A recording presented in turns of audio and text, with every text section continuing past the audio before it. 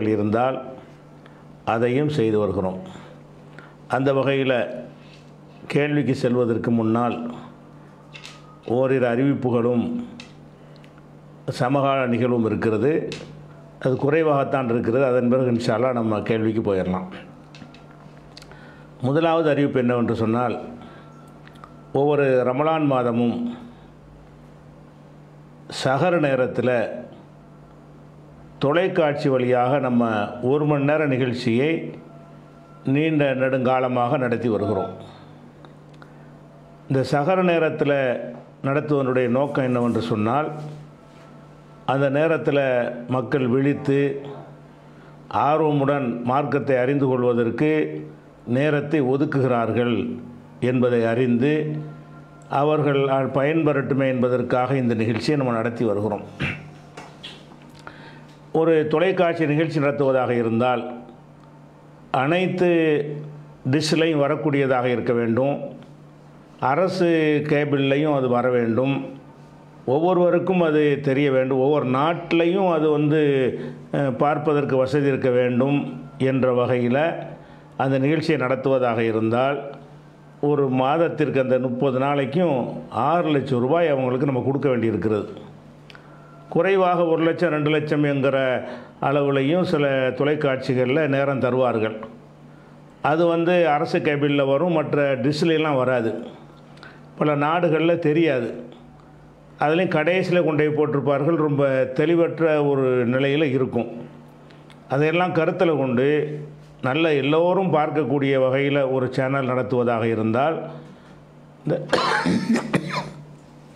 இந்த இரவு நேரமாக இருக்கிறதுனால அவங்களுக்கு அது பிரேம் டைம் கிடையாது. அதனால் ஒரு ஆறு லட்சம் ரூபாய்க்கு அவங்களுக்கு ஒரு மாதத்துக்கு கொடுக்க வேண்டும். தயாரிக்கிற செலவு என்ற வகையில் ஒரு ஒன்றரை லட்சம் ரூபாய் அளவுக்கு செலவாகும். அப்போ இந்த நிதியை கடந்த காலங்களில் எல்லாம் விளம்பரங்கள் மூலமாக பெற்று நம்ம நடத்தினோம். அதில் ரொம்ப கடினமாக முளை முயற்சிக்க வேண்டி இருக்கிறது அது போதுமான விளம்பரம் வராத நிலைமையும் ஏற்பட்டு விடுகிறது. அதனால் இந்த ஆண்டு இந்த நிகழ்ச்சியை டிவியில் நடத்துவதாக இருந்தால் சகர் நேரத்தில் ஒளிபரப்புவதாக இருந்தால் இதற்காக வெறும் நன்கொடைகளை மாத்திரம் உங்களுடைய நன்கொடைகள் மாத்திரம் கிடைத்தால் அதை வந்து இன்ஷால்ல அதை தொலைக்காட்சி நடத்துவோம். அது கிடைக்கல என்று சொன்னால் நம்ம யூடியூப்லேயும் ஃபேஸ்புக்லேயும் நம்ம நடத்தி கொள்வோம்.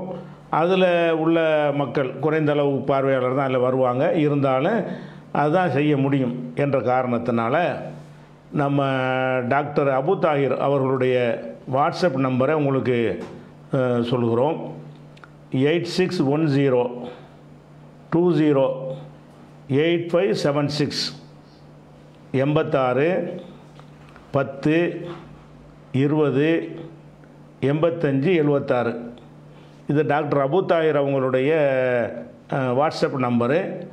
இந்த நம்பருக்கு வந்து நாங்கள் அந்த தொலைக்காட்சிக்காக நாங்கள் நிதி தருகிறோம் என்று வாக்குறுதி மற்றும் பணத்தை அனுப்ப வேண்டியதில்லை. இவ்வளவு தருகிறோம் என்று நீங்கள் தெரிவித்தால் அந்த போதுமான நிதி திரண்டால் அதை உங்கள்கிட்ட நிதியை பெற்றுக்கொள்வோம். யாரெல்லாம் பணம் அனுப்புனார்களோ அவங்களுக்கு அந்த கணக்குகளை நெஞ்சிருவோம் ஒவ்வொருத்தரும் தந்தது எவ்வளோ என்கிற விவரத்தை அவங்களுக்கு தெரிவிச்சிருவோம். அந்த போதுமான நிதி வரலை என்று சொன்னால் உங்களுக்கு தகவலை தெரிவித்துட்டு இன்ஷால நம்ம என்ன செய்வோம்? ஏன்னா மக்கள் கஷ்டத்தில் இருக்கிறாங்க.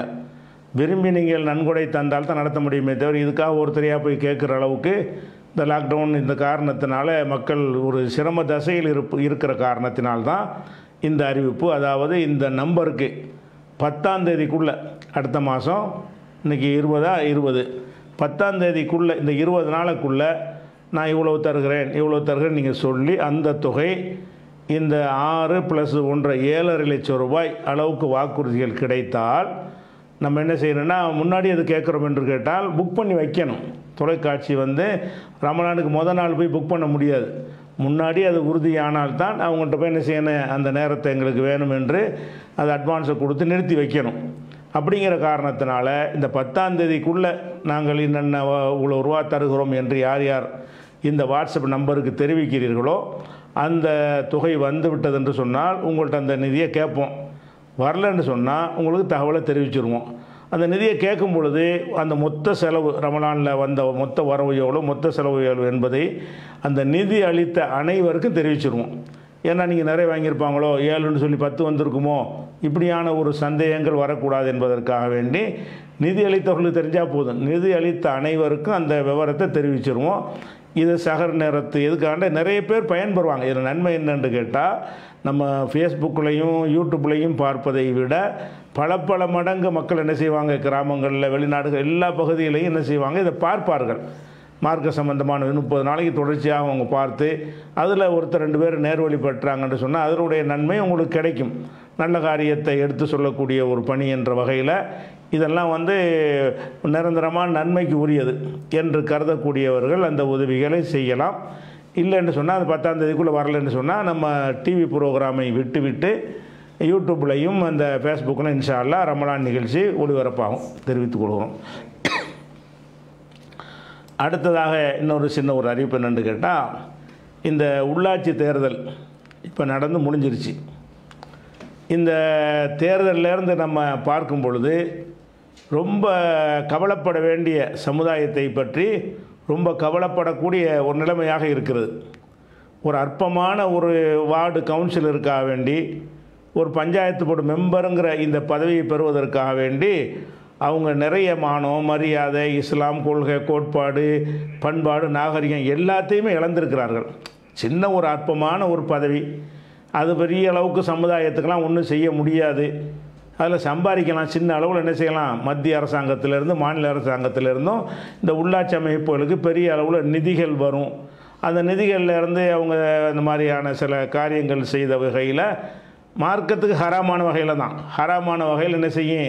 அந்த பத்து லட்ச ரூபா ஒதுக்குனா ஒரு லட்ச ரூபா எடுத்துக்கொண்டு ஒம்பது லட்ச ரூபாய்க்கு வேலை பார்க்குறது.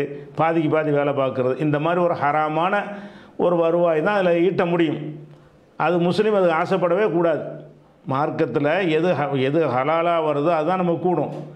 உங்களுக்குன்னு ஒரு சம்பளத்தை நிர்ணய நிர்ணயித்து கொடுத்தான்னா அது ஓகே. சம்பளம் கிடையாது. அப்போ இவ்வளோ செலவழித்து எதுக்கு போட்டிடுறீங்கன்னு கேட்டால் பல லட்சங்கள் வந்து பாலம் கட்ட கு- குளம் வெட்ட கிணறு வெட்ட லெட்ரின் அமைத்து கொடுக்க ரோடு போட என்று பல வகையான தொகைகளை அரசாங்கம் மூலம் வருகிறது. அந்த வருகிற பணத்தில் ரோடு போடுவதாக இருந்தால் பத்து லட்ச ரூபாய்க்கு ரோடு என்றால் அஞ்சு லட்ச ரூபாய்க்கு போட வேண்டியது. மீது அஞ்சு லட்ச ரூபாய் இருக்கிறார்கள் பங்கு வைத்துக் கொள்ள வேண்டியது. இது ஹலால்ண்டா ஹலால் கிடையாது. மார்க் அடிப்படையில் இது பச்சை ஹராம்.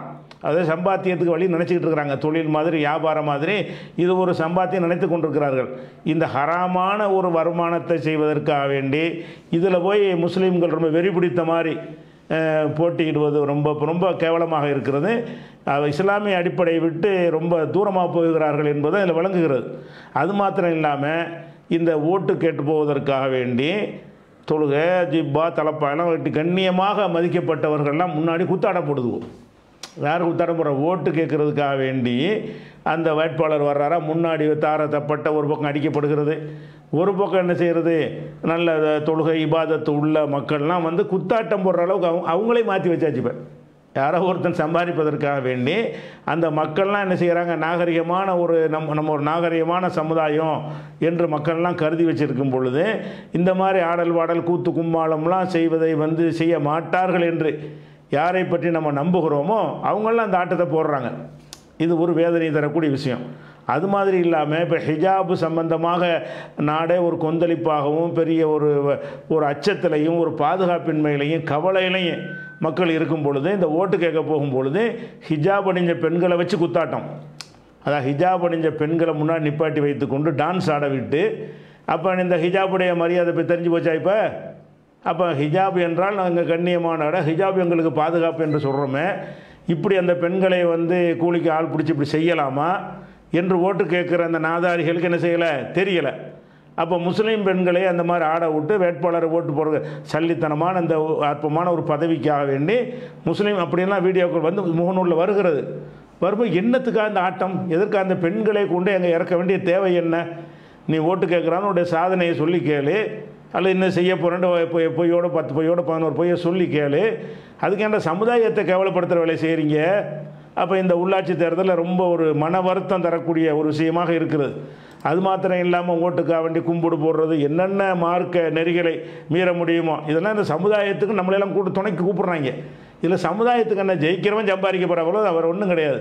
சமுதாயத்துக்கெலாம் ஒன்றும் கிடையாது. உள்ளாட்சியில் போய் என்ன சமுதாயத்துக்கு இடஒதுக்கீடு தர போகிறீங்களா அல்லது பள்ளிக்கூடங்களில் வேலை வாய்ப்பு தரப்போகிறீங்களா கல்வி தரப்போகிறீங்களா என்ன தரப்போகிறீங்க பஞ்சாயத்து போர்டில் குளம் குட்டை ரோடு சாலை இதெல்லாம் யார் வேணாலும் போடுவான். விளங்குதா? முஸ்லீமுக்கு ஒரு தொகுதிக்கு மட்டும் ரோடு இல்லை மற்றவனுக்கு ரோடுன்னு போட முடியாது. எல்லாருக்கும் பொதுவான குடி தண்ணீர். இது எல்லாத்துக்கும் செய்ய வேண்டிய விஷயம். அந்த மாதிரி ஒரு விஷயத்தில் சுருட்டுவது. அதுதான் பஞ்சாயத்து போர்டுடைய ஒரு தன்மை. அதற்காக வேண்டி தான் இம்புட் ஆட்டமும் போடுறாங்க. அதை பார்க்குறோம். கூளை கும்பிடு போடுறோம். எதுக்காக வேண்டி? இந்த இந்த இந்த பதிலை உட்காந்து ஹராமாக சம்பாதிப்பதற்காக வேண்டி கூளை கும்பிடு போடுறது. பொய்யான வாக்குறுதியில் அள்ளி விடுறது. நாங்கள் வந்தாலும் அதை செய்வோம் நாங்களும் இவனுக்கு இவனுக்கு எந்த அதிகாரம்னு தெரியவே இல்லை. நாங்கள் வந்து அதை செய்வோம் நாங்கள் வந்தால் இதை செய்வோம் என்று சொல்லி ஊழலை ஒழிப்போம் நஞ்சத்தை ஒழிப்போம் எல்லாம் சொல்லிவிட்டு செய்யக்கூடிய காட்சியை பார்க்குறோம். அதை விட இந்த பிரச்சாரம் செய்யக்கூடிய நேரத்தில் இஸ்லாத்தை சொல்லி பயம் காட்டுறாங்க. நீங்கள் எங்களுக்கு போடவில்லை என்றால் அல்லாவிடத்தில் பதில் சொல்லி ஆகணும். யார்? நாங்கள் களை வாங்குறதுக்கு நீ துணை செய்யலைன்னா அல்லாட்ட பதில் சொல்லணுமா?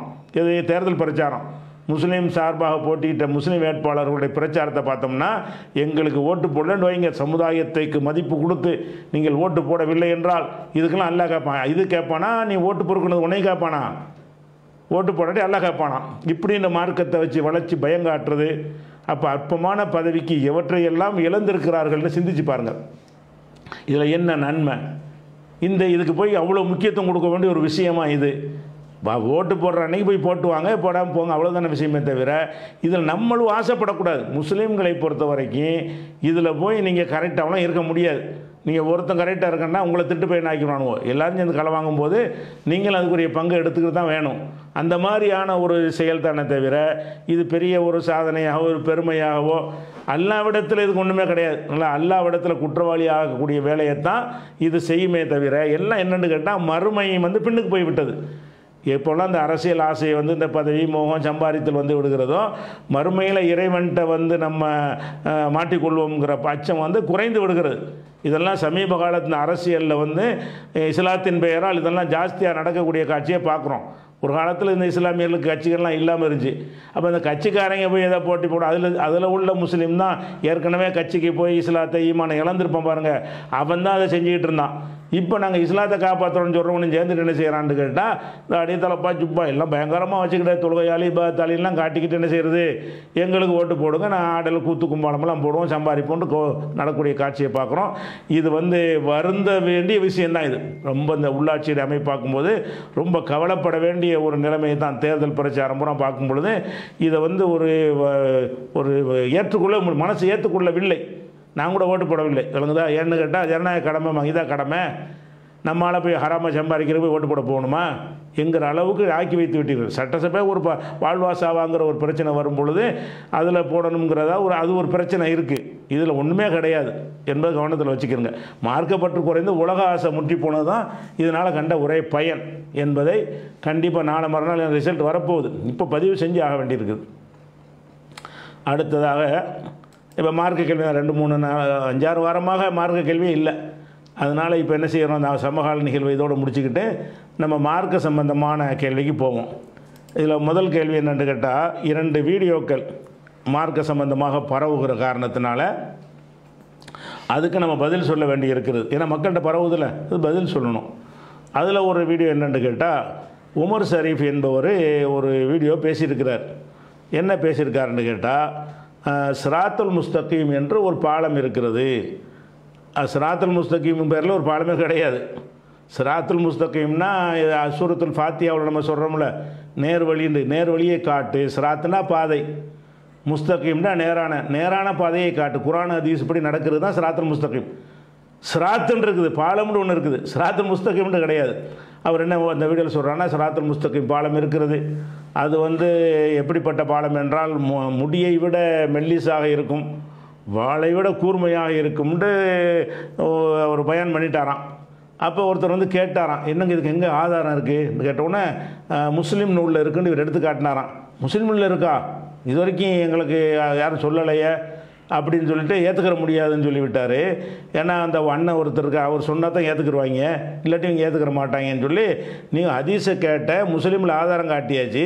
அதுக்கு பிறகு என்ன உனக்கு அதில் டவுட்டு என்கிற மாதிரி அவர் பேசியிருக்கிறார் அந்த வீடியோ. அந்த வீடியோ நீங்கள் பாருங்கள் வீடியோவில் அவர் என்ன பேசுகிறாருன்றே பாருங்கள் அப்புறம் பதில் சொல்கிறேன் அதீசுன்னு இருந்தாலும் அது எங்கேருந்து அறிவிப்பாகணும்? அதுக்கு எங்கேருந்து அங்கீகாரம் ஆகணும் அரண்மனைக்கார ஜமாத்திட்டு இருந்து அங்கீகாரம் வரணும். அவங்க அதை படிச்சு சொல்லியிருக்காங்களா? அப்படின்னு சொல்லிட்டு.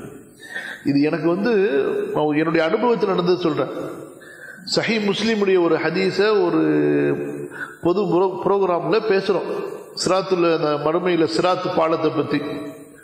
அப்ப அங்க உள்ள சில மக்கள் அந்த ஹதீஸை ஏத்துக்கிறதுக்கே தயார் இல்லை என்கிட்ட வந்து இந்த ஹதீஸ் எங்க இருக்குன்னு கேட்டாங்க.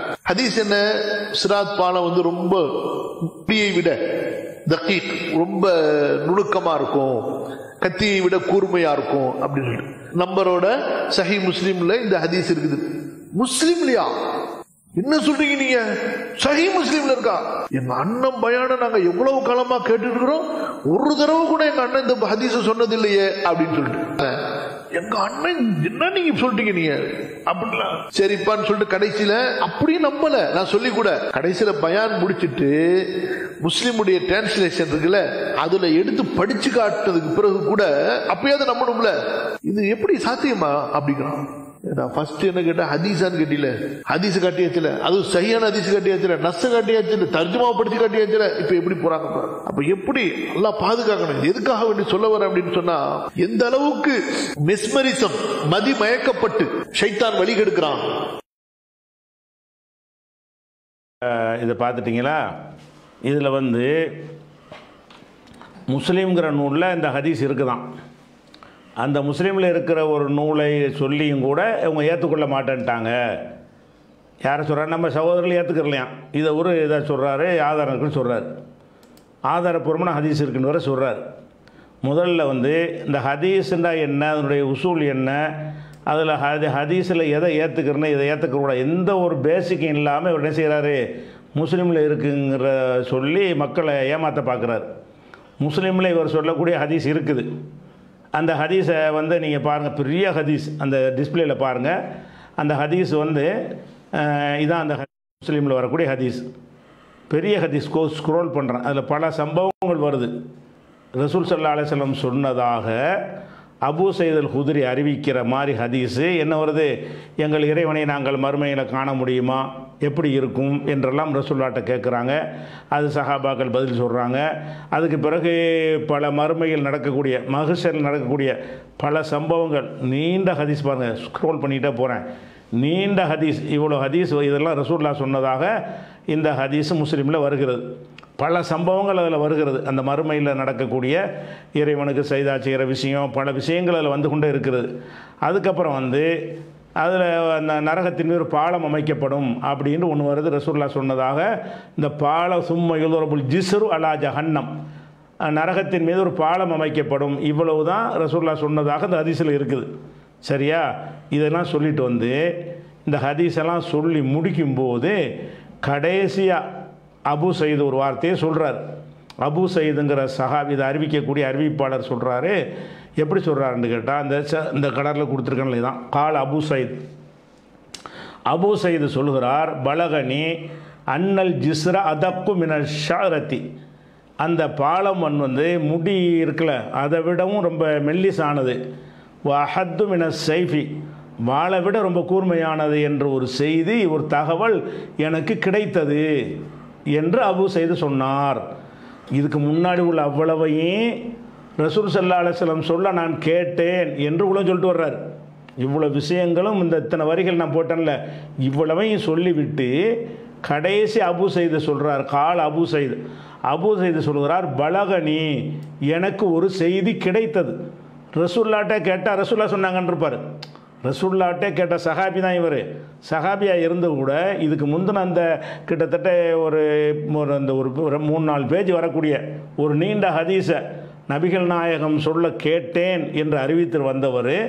அந்த செய்தி அறிவித்து முடித்த பிறகு அவர் ஒரு செய்தியை தனியாக சு சுயமாக சொல்கிறாரு பலகனி எனக்கு கிடைத்தது ஒரு செய்தி கிடைத்தது.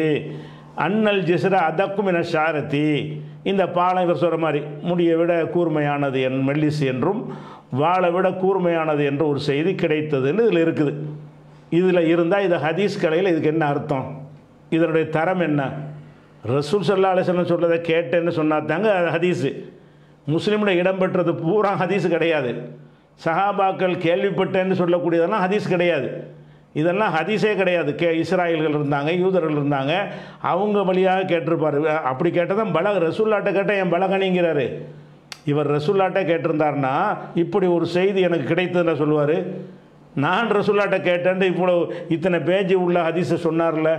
அதை சொல்லி முடிச்சுட்டு கடைசி அவர் என்ன சொல்கிறாருன்னு கேட்டால் இப்படி ஒரு செய்தி எனக்கு கிடைத்தது. அப்போ ரசூல்நாட்டிலேருந்து வந்திருந்தால் இப்படி வாசத்தை அவர் பயன்ப சகாபி பயன்படுத்துவாரா?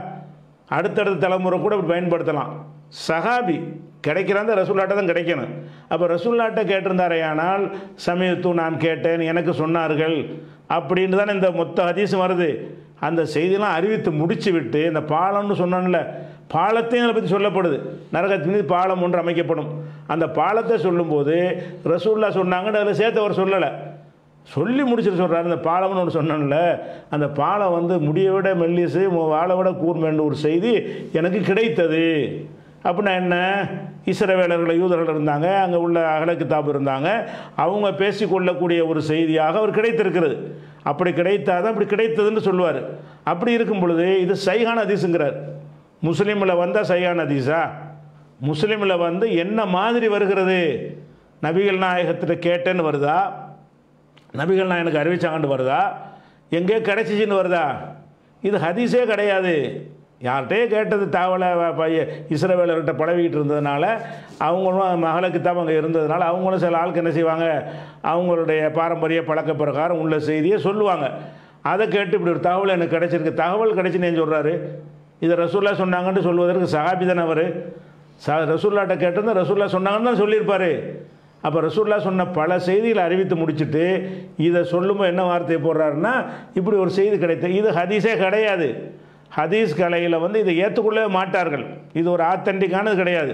முஸ்லீமில் வந்தவன ஆதாரப்பூர்வம் அதிசன்றார் முஸ்லீமில் என்ன மாதிரி வந்திருக்குது? என்ன வாசகம் இருக்குது? அப்போ அதெல்லாம் பார்க்கும்போது இந்த மாதிரி வரக்கூடிய எல்லாமே போக்கான அதிஸ் தான். அதாவது ம பாலம் வந்து இதை விட வாழை வாளை விட கூர்மையானது. முடியை விட மெல்லிசானதுன்னு அது கற்பனை பண்ண முடியாது அதில் எப்படி மக்கள் நடப்பாங்க? அப்படின்னா அறிவை கொண்டு சிந்திக்கிறான்வாங்க இருந்தால் ஏற்றுக்குருவோம் இல்லையே. அப்படி ஒன்று இல்லை. இன்னும் சொல்ல போனால் இந்த பாலத்தை பற்றி நபிகள் நாயம் சல்லாசலம் சொன்ன இன்னொரு ஹதீஸ் என்ன வருதுன்னு கேட்டால் அதில் வருது மக்கள் வானம் பூமி எல்லாம் நம்ம ஒரு சுருட்டி விடுவோம். அப்படின்னு நல்லா சொல்கிறான் அதை பற்றி ரசூல்லாட்ட சகாபாக்கள் கேட்குறாங்க அல்லாவுடைய தூதரை அப்போ நம்மளாம் எங்கே இருப்போம்? வானம் பூமியெல்லாம் ஒன்றாக சுருட்டப்பட்டு விட்டது என்று சொன்னால் மக்கள்லாம் எங்கே இருப்பார்கள்? அப்படின்னு கேட்கும் பொழுது கால அலசிராத் அந்த பாலத்தில் தான் இருப்பாங்க. அந்த பாலம் என்பது எப்படிப்பட்டது என்று சொன்னால் அகில உலக மக்களையும் கொல்லக்கூடிய பிரம்மாண்டமானதுன்னு வருது. இன்னொரு அதே முஸ்லீமில் ஹதீஸில் என்ன வருது? வானம் பூமி எல்லாம் அல்லாஹ் மாற்றிட்டு வேற ஒன்றாக படைப்பான்னு சொல்லும் பொழுது ச சஹாபாக்கள் கேட்குறாங்க ஐன யக்கூனு நாசு யோமயுதீன் அன்றைய தினத்தில் மக்கள் எங்கே இருப்பார்கள்? அப்போ ரசூல்லா சொல்கிறாங்க அலசுராத் பாலத்தின் மீது இருப்பார்கள். பாலம் என்பது பிரம்மாண்டமானது. உலக மக்கள் அத்தனை பேரையும் கொல்லக்கூடியது என்று சொல்லி ரசுல்லா விளக்கி இருக்கிறதை பார்க்கும் பொழுது இது ரசுல்லாவே சொன்னாங்கன்னு வரும் பொழுது இது எதை கிடைச்சதுன்னு அவர் சொல்லக்கூடிய இந்த செய்தி இதுக்கு மாற்றமாக இருக்குது என்ற காரணத்தினால தான் இதை நாம் ஏற்றுக்கொள்வதில்லை. நரகத்திற்கு மேலே ஒரு பாலம் அமைத்து அதன் வழியாக கடந்து தான் சொர்க்கத்திற்கு செல்வார்கள் என்கிற அடிப்படை ஓகே அந்த பாலத்துக்கு சைஸ் சொல்கிறீங்கல்ல அந்த விஷயங்கள் எல்லாம் ஆதாரபூர்வமானதுக்கு மாற்றமாகவும் இருக்கிறது. அது வந்து இது ரசுல்லாவுடைய சொல்லாக இல்லை என்பது அதுக்கு ஒரு பதிலாக நம்ம சொல்லிக் கொள்கிறோம். அடுத்ததாக இன்னொரு செய்தி. என்னென்னு கேட்டால் இதுவும் ஒரு அலிம்சா தான். இவர் இந்த தென்னாலிராமன் அலிம்சா இருக்கார்ல அவர் தான் அந்த ஒட்டக கதை சொன்னார்ல அந்த அந்த யானையை ஒட்டகமாக்குறது. அந்த அலிம்சா தான்.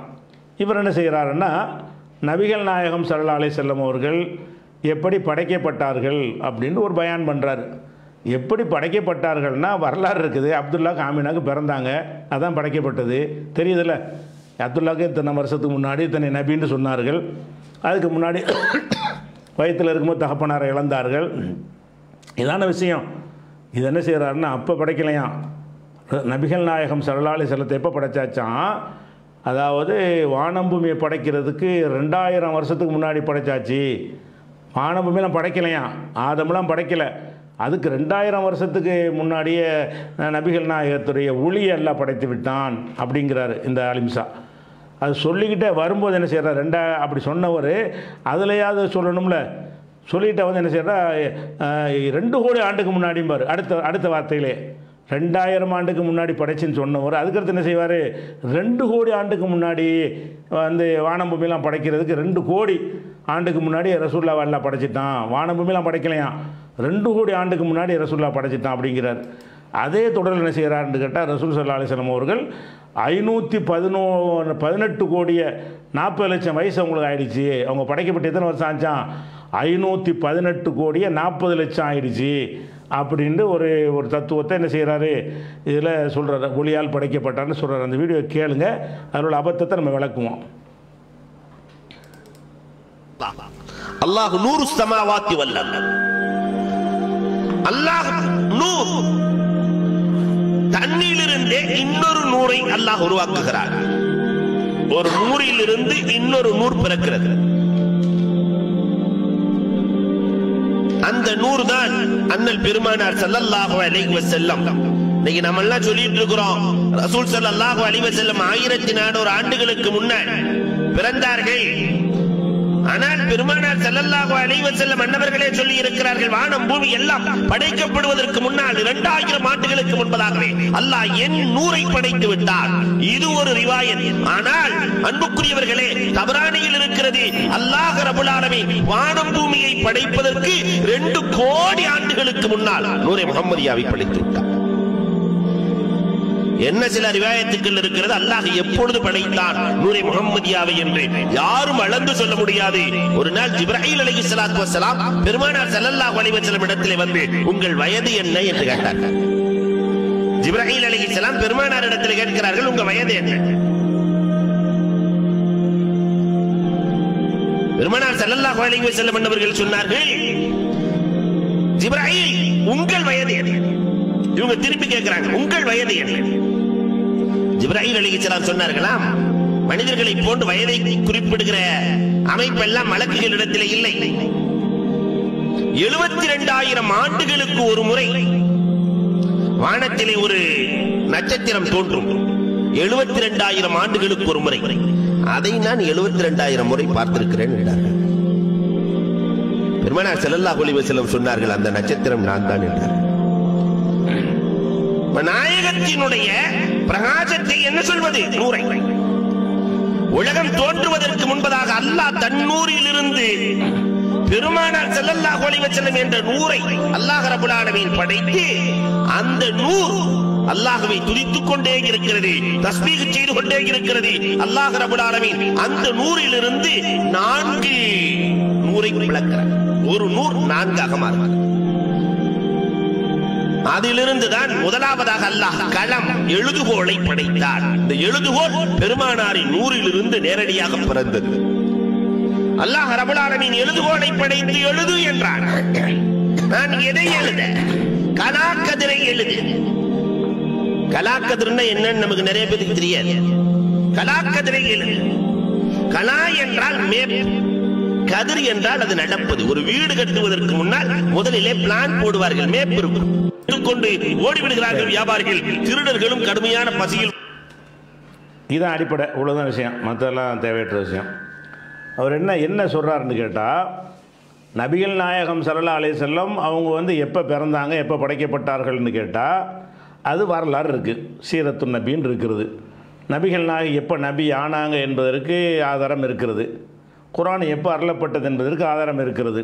தாய் யார் தகப்பன் யாருன்னு இருக்குது. அதை வச்சு தான் ஒருத்தர் எப்போ பிறந்தார்னு சொல்ல முடியும். நபிகள் நாயத்தை புகழ்கிறவங்கிற பேரில் என்ன பண்ணுறாங்கன்னு கேட்டால் ரசூல் சல்லா அலிஸ்லாம் வந்து வானம் பூமிலாம் படைக்கிறதுக்கு முன்னாடியே ரெண்டாயிரம் ஆண்டுக்கு முன்னாடியே படைச்சாச்சு அப்படின்னு ஒரு அறிவிப்பான். இன்னொரு அறிவிப்போட வந்து ரெண்டு கோடி ஆண்டுக்கு முன்னாடின்னு வந்திருக்குதான். சரி ரெண்டு அறிவிப்பு வந்துச்சுல இந்த ரெண்டில் எது சரின்னு சொல்லு. முரணை அந்த ரெண்டு ரெண்டாயிரம் ஆண்டா ரெண்டு கோடி ஆண்டா ரெண்டு கோடி ஆண்டுக்கு முன்னாடி படைக்கப்பட்டுச்சுன்னு சொல்லி ஒன்று சொல்கிறோம் இன்னொரு இது என்னென்னு கேட்டால் ஜிபிரில் அலையலாத்திட்ட வந்து ரசூல்லா வந்து உங்கள் வயசு என்னென்னு கேட்டாங்களாம்.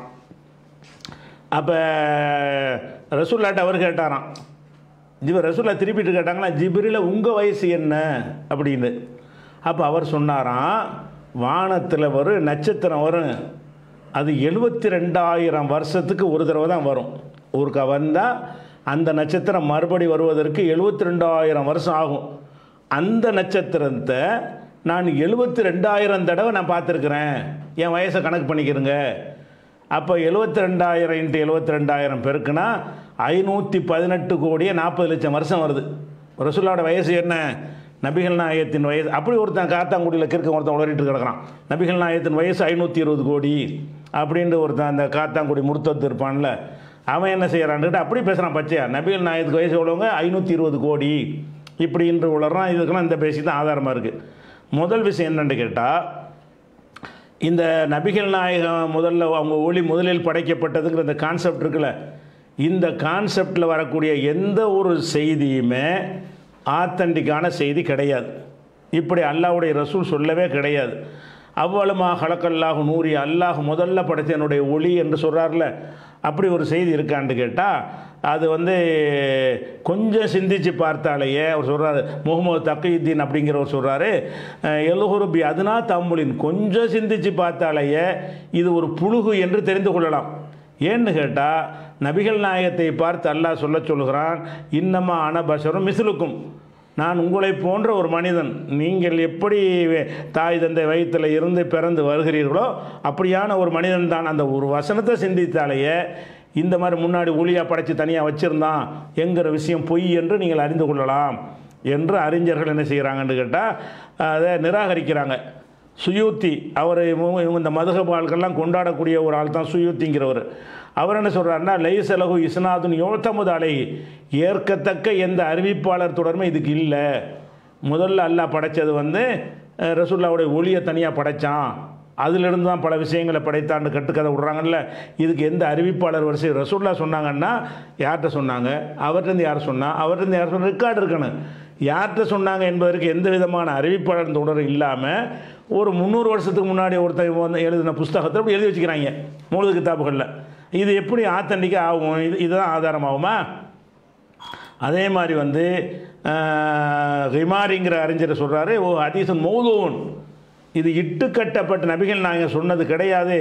இட்டுக்கட்டப்பட்ட ஒரு ஹதீஸு என்று சொல்கிறாரு சஹாவி சொல்கிறாரு ஆதாரப்பூர்வமான ஹதீஸில் நீங்கள் புகாரி முஸ்லிம் தேடி பார்த்தீங்கன்னா முதல்ல அல்லாஹ் படைத்தது தண்ணீரை படைத்தான். பிறகு அரசை படைத்தான் பிறகு களமை படைத்தான் என்றுதான் ஹதீஸ் ஆத்தண்டிக்கான புகாரி முஸ்லீம் நூல்கள்லாம் வருகிறது. அதுக்கு மாற்றமாக இது வந்திருக்கிற காரணத்தினால இது வந்து சரியில்லை என்று நினைஞ்சிருக்காங்க. மறுத்து விட்ட பொய்யான ஹதீஸ் இதெல்லாம் ஹதீஸே கிடையாது. நீ ஹதீஸ்ன்னு ஒன்று சொல்வதாக இருந்தால் நபி காலத்தில் இதை சொல்லியிருக்கணும். நபி காலத்தில் அவர்கிட்ட கேட்டிருக்கணும். அவரிடம் யார் கேட்டாருங்கிற விவரம் இருக்கணும். அவரிடம் யார் கேட்டாருங்கிற விவரம் இருக்கணும். நூல்கள் பதிவு செய்யப்பட்ட அந்த காலத்திலேயே நூலில் பதிவாகி இருக்க வேண்டும். அப்படின்னு சொன்னால் இது புகாரில் இருக்குதா முஸ்லீமில் இருக்குதா அபுதாபில் இருக்கா அகமதில் இருக்கா சனத் இருக்கா அறிவிப்பாளர் வரிசை இருக்கா அப்படின்னா இல்லாமல் இவங்களா வ வருமானத்துக்கு எழுதின மௌலுது கித்தாப்பில் எழுதி வச்சு அப்படி அதிசாகும் ஆகும். கித்தாப்பு முந்நூறு நானூறு வருஷத்துக்கு முந்தினது. இவனுக்கு எப்படி ரசூல்லா சொன்னது இவனுக்கு தெரியும்? முந்நூறு நானூறு ஆண்டுகளுக்கு முன்னாடி ஒருத்தன் எழுதின புஸ்தகத்தில் இப்படி இப்படி இவ அவ எப்படி சொல்ல முடியும் இதை? இது ஒரு விஷயம். அதே மாதிரி வந்து இதே கருத்துப்பட ஜாபிர் அலில்லான்னுட்ட வந்து ரசூல்லாட்ட கேட்குறாங்களாம் மா அவ்வளோ ஹல்கு இல்லா அல்லாவுடைய படைப்பில் முதலாவது எது? அப்போ ரசூல்லா சொன்னாங்களாம் நூறு நபிக்கையா ஜாபிர்? ஜாபிரே உன் நபியுடைய நூறு தான் ஃபஸ்ட்டு படைக்கப்பட்டது என்று அந்த ஒரு ஹதீஸை எழுதி வைத்திருக்கிறார்கள். இது வந்து போவ ஹதீஸுன் மௌதுவும் பி இத்திஃபாக்கு ஐமத்தில் ஹதீஸி ஜமியன். ஹதீஸ்களை அத்தனை பேரும் யோகபித்து இது பொய் இது புழுகு மூட்டை. இப்படி ரசூல்லா சொல்லலை இது இட்டு மௌதுவன் இட்டு கட்டப்பட்டது என்று சொல்லிவிட்டு அப்புறம் என்ன செய்கிறாங்கன்னா வண்ணகு கிதுபுன் மகதுன் களப்பற்ற பொய்யாக இருக்கும். முஹாலிஃபன் லிமா சஹ அணி ரசூல். ரசூல் வழியாக ஆதாரபூர்வமாக வரக்கூடிய செய்திகளுக்கு இது மா மாற்றமாக இருக்கிறது என்று சொல்லி அந்த புகாரி முஸ்லிம் அதிசயெல்லாம் போட்டு இதை வந்து மறுத்துட்டாங்க. இது ஒரு அதிசயம் கிடையாது. அடுத்து இந்த ஜிபிரில் வயசு அதிகம் சொல்கிறாங்கல்ல அது என்ன அதிசன்னு கேட்டால் அபு ஹுரைரா சொன்னதாக மௌலிது கித்தாபுகளில் இருக்கிறது. இந்த அதிசயம் எங்கே இருக்கிறது? ருயஃபி பாலி குத்துபில் மௌலிது நபி. மௌலிது கித்தாப்பில் எழுதப்பட்டிருக்கு இந்த இந்த விஷயம் இந்த நட்சத்திர விஷயம் இருக்குல்ல. எழுபத்தி ரெண்டாயிரம் வருஷத்துக்கு ஒருக்கா வரும். அதை நான் எழுபத்தி ரெண்டாயிரம் தடவை பார்த்துருக்குறேன். எழுபத்தி ரெண்டாயிரம் எழுபத்தி ரெண்டாயிரம் வந்தால் எத்தனை கோடி? ஐநூற்றி பதினெட்டு கோடியை நாற்பது லட்சம் ஆண்டு. என் வயசுந்து அந்த நட்சத்திரம் நான் தாண்டாங்களாம். அதாவது அந்த நட்சத்திரத்தை பார்த்துருக்கேன்னு சொன்ன உடனே நபிகள் நாயன் சொன்னாங்களாம் அந்த நட்சத்திரம் நான் தான் அப்படின்னு சொன்னாங்களாம். அப்போ அந்த நட்சத்திரம் அப்போவே இருந்திருக்குன்னா அப்போ ரசூலோட வயசு என்ன? அப்படின்னு ஒரு க புளி விடுற காட்சியை பார்க்குறோம் இதை இதை சொன்னது யார்? இதை சொன்ன அந்த ஹதீஸை போடு இந்த ஹதீஸை எழுதிட்டு ஆதா கிதுபுன் கபியகுன் இது கேவலமான அசிங்கமான பொய். கப்பஹ் அல்லாஹு மன் வலாஹு வஃப்தராஹு. இதை இட்டு கட்டி உருவாக்குனவனை அல்ல நாசமாக்குவானாக என்று சேர்த்து தான் அந்த ஹதீஸை போடுவாங்க. இந்த மூடுதலோட ஹதீஸை விமர்சனம் பண்ணும்போது என்ன செய்வாங்கன்னு கேட்டால் இது பொய். இதை இட்டு கட்டின பொய்யன் மீது நாசம் உண்டாகட்டுமாக என்று போடுற அளவுக்கு ஒரு கேவலமான ஒரு ஹதீஸ் இது. இது ஹதீஸே கிடையாது. அப்போ இது ஒரு அடிப்படை விளைஞர்னு எந்த ஒன்றுமே நமக்கு கண்ணுக்கு தெரிஞ்ச வரலாறு ஒன்று இருக்குது. அந்த வரலாறில் என்ன இருக்குது? ஆதமை படைத்தான். அவருக்கு ஜோடியை படைத்தான். அவர் வழியாக சந்ததிகள் வழி வழியாக பெருகினார்கள். அப்படி பெருகி வந்த வழித்தோன்றல் அப்துல்லா அமினான்ற ஒரு ஆள் ஒரு ஜோடி. அவங்களுக்கு பிறந்தவங்க முகமது நபி. இதான வரலாறு. அப்போ எப்போ பிறந்தாங்களோ அதான் வயசு. அதுக்கு முந்தைய இருந்தாங்க போனாங்கங்கலாம் என்ன இல்லை? கிடையாது. இன்னும் சொல்ல போனால் மனித குலத்தை பற்றி அல்லாஹ் குரானில் சொல்கிறான்ல அப்படியான பல வசனங்களுக்கு இது மாற்றம் இது உட்காந்து கேட்டுட்டு இருக்கிறாங்க. இந்த கோ இந்த கப்சாவை வந்து என்ன செய்ய ரசித்து கேட்குறாங்க ஆனால் அல்லாஹ் குரான் என்ன சொல்கிறான்னு கேட்டால் ஹுவல்லதி ஹலக்ககுமின் தீன். உங்களை மனித குலமே உங்களை களிமண்ணிலிருந்து நாம் படைத்தோம். பிறகு ஒரு நிர்ணயம் செய்திருக்கிறோம். அந்த காலக்கெடு வந்தோன்னு நீங்கள் மூத்தாயிருவீங்கன்னு நல்லா சொல்கிறான் நீ இந்த களிமண்லேருந்து மனுஷன் படைக்கப்பட்டான்ங்கிற ஒரு செய்தி ஆறு ரெண்டு வசனத்திலையும் நாற்பது அறுபத்தி ஏழு முப்பது இருபது முப்பத்தஞ்சு பதினொன்று இருபத்தி மூணு பன்னிரெண்டு இது எல்லாத்துலேயுமே மனிதனுடைய மூலப்பொருள் மண் ஒளி கிடையாது. மலக்குகள் தான் ஒளியால் படைக்கப்பட்டார்கள். இப்லீஸ் வந்து நெருப்பால் படைக்கப்பட்டான். மனிதனுடைய ம மூலம் என்ன என்று கேட்டால் களிமண். மூலம் ஃபஸ்ட்டு அப்பனுக்கு மூ- மூலம் வந்து களிமண். மற்றவனுக்கெல்லாம் அந்த தகப்பனுடைய உ- உயிரணுவும் தாயுடைய கருமுட்டையும் வந்துவிடும். முதல் மனிதனுடைய மூலப்பொருள் என்னன்னு கேட்டால் முதல் மனிதனாக சொல்ல வர்றாங்க. ஒளியிலேருந்து மனுஷன் படைக்கப்படவே இல்லை. ஒளியிலேருந்து படைக்கப்படல களிமண்லேருந்து படைச்சதாக எல்லாம் சொல்கிறானே இந்த வசனத்துக்கு நேர் மாற்றமாக இருக்கா இல்லையா? இன்னும் சொல்ல போனால் முப்பத்தி ரெண்டாவது அத்தியாயத்தில் ஏழாவது வசனத்தில் அல்லாஹ் சொல்லுகிறான் அல்லது அகசனக்குள்ள செய்யின் ஹல்கஹு. ஒவ்வொரு படைப்பையும் அல்ல அழகுற படைத்திருக்கிறான். ஓ பதா ஹல்கல் இன்சானி மின் தீன். மனித குலத்து படைப்பை களிமண்ணிலிருந்து தான் ஆரம்பிக்கிறான். ஆரம்பித்தேனுங்கிறான். அப்போ ஆ மனித குலத்தின் படைப்புடைய துவக்கமே எது? இப்போ சொல்ல மனித குலம் இல்லையா அவர்? அப்போ மனித குலத்தின் துவக்க பதாடா துவக்கினான். பதா ஹல்கல் இன்சானி மின் தீன். மனித குலத்தின் படைப்பை களிமண்ணிலிருந்து அல்லாஹ் துவக்கினான். அப்படின்னு வந்தால் அது ஒன்றும் கிடையாது விளங்கி போச்சு. ம நூறுல எல்லாம் படைக்கப்படல. அது போக வந்து நம்ம எதிலிருந்து படைக்கப்பட்டோமோ அதில் தான் கொண்டு போய் சேர்க்கப்படணும். நூறில் படைக்கப்பட்டால் நூறில் கலந்து விட்டுறணும். நபிகள் நாயத்தை கலந்துடணும் மண்ணில் படைக்கப்பட்டால் மண்ணில் கொண்டு போய் போடணும். அப்படி நல்லா குரானில் சொல்கிறேன் என்ன சொல்கிறான் மின்ஹா ஹலக்குனாக்கும் இதிலிருந்து உங்களை படைத்தோம். இதுண்டா பூமி மண் இதிலிருந்து உங்களை படைத்தோம். ஒஃபிஹா நுழைதுக்கும் இதிலேயே திரும்ப கொண்டு போய் சேர்ப்போம். ஒ மின்ஹா நுகுரிஜுக்கும் தாரத்தை நுகுரா இன்னொரு தடவை உங்களை இதிலேருந்து எழுப்புவோம். இருபதாவது சூறாவில் ஐம்பத்தி அஞ்சாவது வசனத்தில் இருக்கிறது. அப்போ நபிகள் நாயகம் சொல்லா அலைச்சல்லம் எங்கே அடக்கப்பட்டாங்க? கபூர் இருக்குன்னு சொல்கிறீங்கள ரவுலான்னு சொல்கிறீங்கள அடக்கம் செய்யப்பட்ட இடம்னு இருக்குல்ல எங்கேருந்து எடுத்தாங்களோ அங்கே தான் அடக்கப்படுவாங்க. ஒளியிலேருந்து எடுத்து அங்கேயும் அடக்கிறாங்க. ஒளியிலேருந்து எடுக்கப்பட்டார்களே ஆனால் அவங்கள என்ன செய்யணும்? மேலே ஏற்றி விட்ருவாங்க பூமிக்குள்ளே அடக்கம் செய்ய மாட்டாங்க. அப்போ அல்லா என்ன செய்கிறான்னா இதில் தான் படைத்தோம் அப்போ யாரெல்லாம் இதில் அடக்கப்படுறாங்களோ அவங்கெல்லாம் இதில் தான் படைக்கப்பட்டிருக்கிறாங்க. இப்போ நபிகள் நாயகம் சல்லா அலிஸ்லாம் அவர்களை பூமியில் அடக்கிட்டோம் என்று சொன்னால் அவங்க இந்த பூமியிலேருந்து படைக்கப்பட்டிருக்கிறாங்க மண்ணிலேருந்து படைக்கப்பட்டிருக்கிறாங்க என்று அது ஒரு விஷயத்தை நீங்கள் பார்க்குறோம். இன்னும் சொல்ல போனால் அந்த அந்த ஒளியாக நான் தான் இருந்தேன் ஐநூற்றி பதினாலு கோடி ஆண்டுக்கு முன்னாடி நான் இருந்தேன்லாம் அப்படி சொல்ல சொன்னதாக வருது. அப்படின்லாம் சொல்லக்கூடியவங்களாக இருந்தால் அவங்க வந்து எல்லாம் அறிஞ்சவங்களாவில் இருந்திருக்கணும். இவர் புழுகு மூட்டையில் என்னெல்லாம் விட்றாருன்னா லவ்ஹு களம் எல்லா ரசூல்லாவுடைய ஒளியிலிருந்து படைக்கப்பட்டுச்சுன்னு அந்த நீண்ட உரையில் விட்றாரு நமக்கு தேவையானவங்க எடுத்துக்கிட்டோம். அதில் வந்து நபிகள் நாயகம் சல்லாசத்து அல்லாவுடைய ரசூலாக ஆக்கி ஆக்கி விட்டு சொல்கிறான் கதாலிக்கு அவுகைனா இலைக்கு ரூஹமின் அமரினா. நமது உயிரோட்டமான கட்டளைகளை உனக்கு நம்ம அறிவிக்கிறோம். மா குந்த ததிரி நீ அறிந்தவராக இருக்கவில்லை. மல் கிதாப் உலல் ஈமான். கித்தாப்புண்டா என்ன ஈமான்டா என்ன வேதம்டா என்ன நம்பிக்கைண்டா என்ன? உனக்கு தெரியாது. இப்போ தான் நான் சொல்லித்தர்றேங்கிறான் அல்ல அப்போ ஐநூற்றி பதினாலு கோடிக்கு முன்னாடி எல்லாம் அறிந்தவராக இருந்தார்னு சொன்னால் நபியாக ஆன ஆகுறதுக்கு முன்னாடி ஒன்றும் தெரியாதுங்கிறான். ஈமானே தெரியாதுங்கிறான்.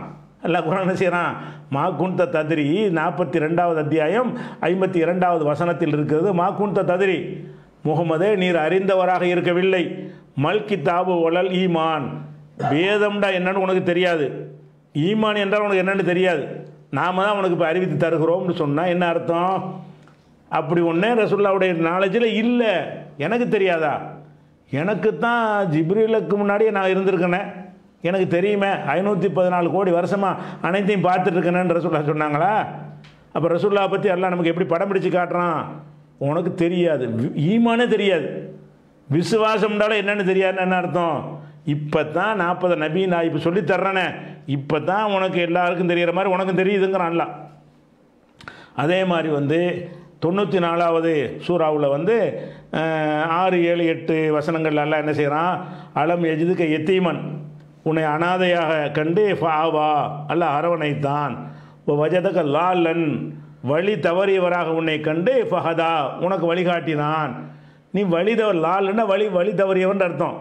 அப்போ நீ நபியாருக்கு முன்னாடி நீ வழி தவறியவராக இருந்தாய். சரியான வழி உனக்கு தெரியலை. நான் தான் இப்போ சொல்லி தர்றேங்கிறான்லாம் உல்லுஹா சூறாவில் வரும்ல? அந்த சூறாவில் உள்ளது. அப்போ வஜதுக்கு ஆயிலன்னு பார்க்கணா நீ வறுமையாக இருந்தாய் உனக்கு செல்வத்தை கொடுத்தேன். எத்தியமாக இருந்தாய் நான் அரவணைச்சிக்கிட்டேன். வழி தவறிய லால்லன் வஜதக்க லால்லன். வழி தவறியவராக நீர் இருந்தாய். ஃபஹதா அவன் தான் உனக்கு வழியை காட்டினான். ஒன்றும் தெரியாமல் இருந்தேன். ஈமானு தெரியாது நேர் வழியும் தெரியாது. எல்லாம் நான் தான் சொல்லி தந்தேன். அப்படின்னா அப்போ தானங்க ஸ்டார்டிங் ஆகுது. அப்போ என்ன எல்லா ரவுடையிலும் இல்மும் எல்லா இல்மும் இருந்துச்சான் அதை வச்சு தான் கடமை எழுத சொன்னேன்ற அளவுக்கு புழுகுறாங்கள. அவர் ரசூல்லாவுக்கு அவங்க அவங்களுக்கு ஒன்றும் தெரியாதுங்கிறான் அல்ல? நாற்பதாவது வயசில் சொல்லி கொடுக்கும்போது தான் தெரியும். அப்போ இஸ்லாத்துக்கு தப்பான வடிவம் கொடுத்து இஸ்லாத்தை வெறுக்கிறதுக்காக வேண்டி. அடுத்தவன் பார்த்தா அந்த கப்சான்டா என்னடா நல்லா புழுகுறாங்களடா. இதெல்லாம் வந்து புராண இதிகாசங்களோடு கிடையாதுன்னு நினச்சா இஸ்லாத்துக்கு வருவானா? நீ சொல்லக்கூடிய இந்த புழுகு மூட்டையெல்லாம் பார்த்தான்னு சொன்னால் என்னடா ஒளிங்கிறாங்க ஒரு வயித்துல பிறந்தாருங்கிறாங்க என்னடா ஐநூற்றி பதினாலு கோடிங்கிறாங்க என்ன கணக்கு விட்றாங்க? அதுன்னு சொல்ல போனால் ஜிப்ரியில் வந்து அவர் இருக்கிறத விண்ணுலகத்தில். நமக்கு பூமிக்கு தான் நட்சத்திரம் வந்து இத்தனை வருஷத்துக்கு ஒருக்கா வரும்னு ஒரு கணக்கடி சொல்கிற தொலைஞ்சிட்டு போய் இப்படி இருந்துட்டு போகுது. அவருக்கு என்னடா தே மறைக்கிறது எல்லாமே தெரியுமாடா அவருக்கு தான். அவர் விண்ணுலகில் உள்ள வருத்தனை தர பார்த்தாராம். பூமிக்கு தானே உதித்தல் என்பதெல்லாம் வரும் அவர் தான் எல்லாத்தையும் பா பார்க்குற இடத்துல இருக்கிறாரு. நாலாவது வானத்தில் இருக்குன்னு அந்த முழு முட்டையில் எழுதி வச்சுக்கிறாங்க. அவர் நாலாவது வானத்துக்கு மேலையில் இருக்கிறாரு. மேலே உள்ளவர் கீழே உதிக்கிறது இப்படி பார்ப்பாரு? கீழே நம்ம பூமியில் உள்ளவன் தான் எட்டி பார்த்து இந்த வருஷம் எழுபத்தி ரெண்டாயிரம் வருஷத்துக்கு எதுக்கு உதிக்குது? பூமிக்கு தானே உதிக்குதுங்கிற? எங்கே உதிக்கி? உதித்தல்னா என்னடா அர்த்தம்? அதில் இருந்துக்கிட்டு தானடா இருக்கு எல்லாமே. உதித்தல் என்று சொன்னாலே நிலப்பரப்புக்கு தெரிவதற்கு தானே உதித்தல்ங்கிறோம். அப்போ நிலப்பரப்பில் அவர் இருக்கலையே அவர். ஜிப்ரியில் வந்து நிலப்பரப்பில் இல்லை. அவர் உதிச்சதை பார்த்தாராம். எழுபத்தி ரெண்டாயிரம் தடவை. எங்கே உதிச்சது? உதித்தல் என்று சொன்னால் ஒரு அதனுடைய நிழல் ஏதாவது ஒன்றில் படுறதுக்கு பேர் தானே உதித்தல் என்று சொல்கிறது அவர் எங்கே அவர் தான் நான் நாலு வனத்தில் இருக்குன்னு நாலாவது வனத்தில் இருக்குன்னு நீ சொல்கிற அவர் அதுக்கு மேலே இருக்கிறாரு ஜிப்ரீலு. அவர் ஏன் அந்த நட்சத்திரத்தை போய் உதிக்க உதித்தல் அவருக்கு கான்செப்ட் வராத? உதித்தல்ங்கிறது சூரிய உதித்தல்னு அவருக்கு வருமா? ஜிப்ரியில் வந்து சூரியன் உதயமாக விட்டது மாறா நமக்கு தாண்டா சூரிய உதயம் சந்திர உதயம் நட்சத்திர உதயம் எல்லாம் பூமிக்கு எப்போ தெரியுதுங்கிறதுனால உள்ளது தான் அதுக்கெல்லாம் மேலே இருக்கிறவருக்கு எப்போ பார்த்தாலும் சூரியன் தெரிஞ்சுக்கிட்டு இருக்கு எழுபத்தி ரெண்டு லட்சம் வருஷத்துக்கு ஒரு வரக்கூடிய நட்சத்திரம் அவர் அவர் கண்ணில் பட்டுக்கிட்டே இருக்கும் இவர் என்ன சொல்கிறாங்கன்னா அது கற்பனை செய்யும் கூட அது அறிவு இல்லாதனால. உலக அறிவு நாலேஜ்லாம் ரசூல்லா சொன்ன அப்படி வராதுல இட்டு விட்டு அடிக்கிறது தானே? அதனால் நினைஞ்சிட்டாங்க இந்த ஒரு பொது அறிவு கூட இல்லாமல் ஜிப்ரில் வந்து உதிக்கிறத வந்து பார்ப்பாரான் அவருக்கு எப்படா ஒதுக்கி? மண்ணுலகத்தில் இருக்கிறவனுக்கு ஒதுக்கின்னு சொல்லு. சந்திர மண்டலத்தில் இருக்கிறவனுக்கு கூட ஒதுக்கிம்னு சொல்லு. ஏதாவது கோளில் கிரகத்தில் இருக்கிறவனுக்கு இது உதிக்கும்னு சொன்னால் ஒரு மீனிங் இருக்கிறது. அதுக்கெல்லாம் அப்பாற்பட்டு போனவனுக்கு எப்படி உதிக்கிறது வரும்? உதிக்கிற கான்செப்ட் இப்படி வரும். வராது. அது ஒரு விஷயமாச்சா அதே மாதிரி வந்து இந்த வகையெல்லாம் எல்லாம் சொல்லும் பொழுது உனக்கு இதை அறிவிக்கிறேன். மா குந்த தாளமுக அந்த உனக்கும் இது தெரியாது முன்னாடியே. உலா கவுமுக்கும் உன்னுடைய சமுதாயத்துக்கும் தெரியாது என்று அல்லாஹ் சொல்லி காட்டுறான். அதை விட நபிகள் நாயகம் சல்லா அலை செல்லம் அவர்கள் இறை தூதர்னு ஆயிடுறாங்களா? ஜிபிரில் வர்றாங்களா? ஓதுன்னு சொல்கிறாங்களா ஓத தெரியாதுங்கிறாங்களா? அதுக்கப்புறம் என்ன வர்றாங்க நட்டுங்கிட்டு வர்றாங்க. அவங்க இறை தூதர் ஆன ஒரு விஷயமே அவங்களுக்கு தெரியவில்லை. புகாரியில் மூணாவது ஹதீஸ் எடுத்து முழுசாக படிங்க. அதில் என்ன இருக்குது? இறை தூதரை தெரியல. பதறிக்கிட்டு வர்றாங்க. எனக்கு எதா ஆயிடுச்சு சம்மியில் உனக்கு ஜம்மில் எனக்கு போத்துங்க போத்துங்கங்கிறாங்க. அவங்க மனைவி ஆறுதல் சொல்லி அவங்கள வந்து வரக்காங்கிற ஆள்கிட்ட என்ன செய்கிறாங்க அவர் வந்து முந்தைய வேதங்களை படித்தவராக இருந்தார். அவர்கிட்ட அழைச்சிக்கிட்டு போகிறாங்க இந்த மாதிரி உங்கள் பையனுக்கு இந்த மாதிரி இருக்குது. என்னன்னு பார்த்து சொல்லுங்கள் அவர் எல்லாத்தையும் விசாரிச்சுட்டு இது மூசை மூசைக்கு வந்த இறை தூதர் தான் உனக்கு வந்திருக்கிறாரு. நீ இந்த கொள்கையை சொன்னால் உனக்கு பெரிய எதிர்ப்புலாம் வரும். உன்னை ஊரை விட்டு விரட்டுவார்கள் அப்படிலாம் சொல்லும்போது ரசூல் ஆச்சரியமாக கேட்பாங்க. அவள் முகர்ஜியை என்னையா வெளியேற்றுவாங்க? ஆமாம் உன்னை தான் வெளியேற்றுவாங்க. நீ சொல்லக்கூடிய கொள்கை யார் சொன்னாலும் வெளியேற்றுவாங்க. அந்த காலத்தில் நான் இருந்தால் உனக்கு சப்போர்ட்டாக இருப்பேன்லாம் அவர் சொல்லுவார். இந்த மூணாவது ஹதீஸில் விரிவான ஒரு விஷயம். அப்போ நபியாக ஆன பிறகு கூட நபியானு தெரியலையே. பிறகு தானே ஒன்று ஒன்றா உறுதி ஆகிட்டு வருது. அப்படி இருக்கும்போது இவங்க என்ன செய்கிறாங்க நூறு நூறாக இருந்தாங்க இரநூறா இருந்தாங்கன்னு கதை விட்டுட்டு இருக்கிறாங்க. அது போக வந்து நபிகள் நாயத்தை பற்றி எல்லாம் பல இடங்களில் சொல்லும் பொழுது என்ன செய்கிறான்னு கேட்டால் பஷர் மனிதருங்கிறான். மனிதர்னா என்ன? ஹல்குன்ட்டு அவங்க அற்புதம் கே கேட்குறாங்க நீங்கள் என்னென்ன அற்புதங்கள்லாம் செய்யணும்? அப்போ நபிகள் நான் என்ன பதில் சொல்ல சொல்கிறான்ல குல் நபியை நீ சொல்லுங்கள் சுபஹான ரப்பி என் இறைவன் தூயவன். ஹல்குந்த் இல்லா பஷரன் ரசூலா. நான் ரசூலாகவும் இருக்கிறப்ப பஷரன் மனிதனாக இருக்கிறேன். நான் மனிதனாக இருக்கின்ற வந்து எதை கேட்குற? பதினேழு முப்பத்தி தொண்ணூற்றி மூணில் இருக்கிறது. மக்கள்கிட்ட போய் அல்லாஹ் சொல்ல சொல்கிறான் குல் நபி நீங்கள் சொல்லிவிடுங்கள். இன்னமான பஷரும் மிசிலுக்கும் நான் உங்களை போன்ற ஒரு மனிதன்தான். அப்படின்னு என்ன அர்த்தம்? வகி வருது இறை தூதருங்கிறது தனி. யுகா இளைய எனக்கு இறை செய்தி வருகிறது என்பதை தவிர்த்துவிட்டு பார்த்தால் உங்களைப் போன்ற மனிதன் உங்களைப் போல பிறக்கிறேன் உங்களைப் போல வளர்கிறேன் உங்களைப் போல சாப்பிடுகிறேன் உங்களைப் போல மலஜலம் கழிக்கிறேன் உங்களைப் போல முதுமை அடைகிறேன் உங்களைப் போல நோய்வாய் பெறுகிறேன் உங்களைப் போல ஆசாபாசங்கள் கொண்டவனாக இருக்கிறேன் உங்களைப் போல மனைவி மக்களோட வாழ்கிறேன். அவ்வளோ அர்த்தம் அவர் அடங்கியிருக்குல்ல? அப்போ எல்லாம் உங்களைப் போலன்னு சொன்னால் நீ வேற ஆள் போலன்னு சொல்கிற நீ? எங்களை போலன்ட்டு வரலையே உங்க அதை பிரகாரம் எங்களை போன்றவர் அவர் இல்லையப்பா? ஐநூற்றி பதினாலு கோடி ஆண்டுக்கு முன்னாடி நூறுலேருந்து படைக்கப்பட்டிருக்காருங்கிற அவர் எங்களை போன்றவர் இல்லையே அப்போ அல்லா போய் சொல்லிட்டானா அல்லாஹ் நபிகள் நாயத்தை சொல்ல சொல்கிறது எப்படி? இதுக்கு ஆத்தண்டிக் ஆதாரம் இருக்குது நீ சொல்ற கட்டுக்கதை இது குரானில் இருக்குது. ஆதாரம் இருக்குது. நீ சொல்வது என்ன? இந்த மூலதுக்கு தவ புழுக மூட்டைக்காரன் எழுதி வச்சதை வச்சுக்கிட்டு அரபியில் இருந்தவொன்னே அரபியில் இருக்கிறெல்லாம் வேதம் நினச்சக்கூடிய கூமுட்டைகள் அதை எடுத்து பாய்ச்சி சேர்ந்து ஹதீஸ் எடுத்து படிங்கடா கொஞ்ச நாளைக்கு. இந்த குப்பையை படிக்கிறதுக்கு போல குரான் எடுத்து படிங்க. அதில் அதை விட தத்துவங்கள் அழகாக இருக்குது. இந்த கதையெல்லாம் அள்ளி விட்டேன்னு வைமே இஸ்லாத்தினுடைய வளர்ச்சியை தடுக்கப்பட்டு போய்விடும். இந்த மாதிரி புழுக மட்டும் நம்மளெல்லாம் மிஞ்சிடும் இவ்வளோ இருக்குன்னு நினைப்பாங்க. பிற மதத்துக்காரங்க நினைச்சார்கள்னா இவ்வளோ புராண இதிகாசங்களை விட்டு அடிக்கிறோம். ஐநூற்றி பதினாலு கோடி வயசு உள்ள ஆள்லாம் ஒரு அவங்கள்ட்ட இருக்குப்பான்னு சொன்னாங்கன்னா என்னவாயிரம் உண்மையாக இருந்தால் சொல்லு. பொய். அது மாதிரி. அதே மாதிரி பதினெட்டு நூற்றி பத்துலையும் நாற்பத்தி ஒன்று ஆறுலையும் நல்லா வந்து ஒரு மனிதன்டே சொல்ல சொல்லுகிறான். அதனால் இந்த கதை வந்து பச்சை பொய்ன்னு உரைக்கணும். அடுத்ததாக வந்து ஹாஜரா பாத்திமாங்கிறவங்க கேட்குறாங்க என்ன கேட்குறாங்கன்னா அவங்க அனுப்புனதில் ஒரு வேல் வேல் படம் ஒன்று போட்டு அனு- படம் மாதிரி போட்டு அனுப்பியிருக்கிறாங்க. அது வாட்ஸ்அப்பில் அந்த படம் இமேஜ் வரல காப்பி பண்ணும்போது. வேல் மாதிரி படத்தை போட்டு அந்த உயிரணு இருக்கிற உயிரணு நீந்தி போகிற மாதிரி படம் போடுவாங்கல்ல அதை பார்த்தீங்கன்னா அது வேல் மாதிரி இப்படி இருக்கும். அது ரெண்டையும் போட்டு என்ன செய்கிறாங்களாம் விந்தணுவும் வேலும் ஒரே மாதிரியாக இருக்கிறது அறிவியல் பூர்வமாக எங்கள் எங்கள் இது சரி என்று நிரூபிக்கப்பட்டுருச்சுன்னு சொல்கிறாங்களாம் யார்? அந்த பிற சமயத்து வேலை வணங்கக்கூடியவர்கள் இருக்காங்கல்ல. வேலு வடிவேலும் மயிலும் துணைண்டு வேலை வந்து என்ன செய்வாங்க? அது ஒரு ஒரு கடவுளுடைய ஒரு ஆயுதம் என்று சொல்லி சொல்லக்கூடியவர்கள் என்ன செய்கிறாங்க பார்த்தீங்களா நீங்கள் விந்தணு நீந்தி போகிற விந்தணுவை பார்த்தீர்கள்னு சொன்னால் அது மண்டை வேலு மாதிரி இருக்கும். அது நீந்தி போகிற மாதிரி இருக்கிறத பார்த்தீங்கன்னா இது வேலு மாதிரி இருக்கிறது. இப்படி தான் மனித மனிதகுல தோற்றம்னு காட்டுவதற்கு தான் அந்த வேல் ஆயுதமாக இருக்குன்னு சொல்லிட்டு இப்போ நான் ஃபில்டர் பண்ணி அவர் ஆயுதம் வச்சுருந்தாரு வேலை அவ்வளோதான் அதில் இருக்கிறது. இதிலிருந்து எங்கள் இது அறிவுபூர்வம் நிரூபிக்கப்பட்டுருச்சுன்னு சொன்னதாக புழுகிறாங்களாம் அப்போ நம்ம என்ன கேட்குறோம் சரி வேலு மாதிரி இருக்கல விந்தணுவுக்கு உயிர் இருக்குது. வேலுக்கு உயிர் இருக்கா? நீ வேலைன்னு வச்சுக்கிறிய அது நீந்தி போகுமா? அதுக்கு வால் வளைஞ்சு கிளைஞ்சு இருக்குது. அது உந்தன் ஒரு கரு கருமுட்டையை உடைத்து கொண்டு உள்ளே போய் ஒரு மனிதனை உருவாக்கும். இந்த வேல் இதாக உருவாக்குமா? விந்தணு வந்து நீந்தும். இது நீந்துமா? விந்தணுவுக்குள்ளே ஒரு மனிதனை உருவாக்கக்கூடிய அனைத்து அம்சங்களும் அடங்கி இருக்கிறது இந்த வேலைக்குள்ளே அதெல்லாம் இருக்குதா? ஒன்றுமே இல்லை. என்னடா அதே மாதிரி இருக்குன்னா இது மாதிரி ஆயிரம் லட்சக்கணக்கான பொருள் அது மாதிரி இருக்குமே. இதை வச்சுக்கிட்டு என்ன அறிவியல் பூர்வமாக நிரூபிக்கிறீங்க? ஒரு அறிவியலும் கிடையாது என்ன?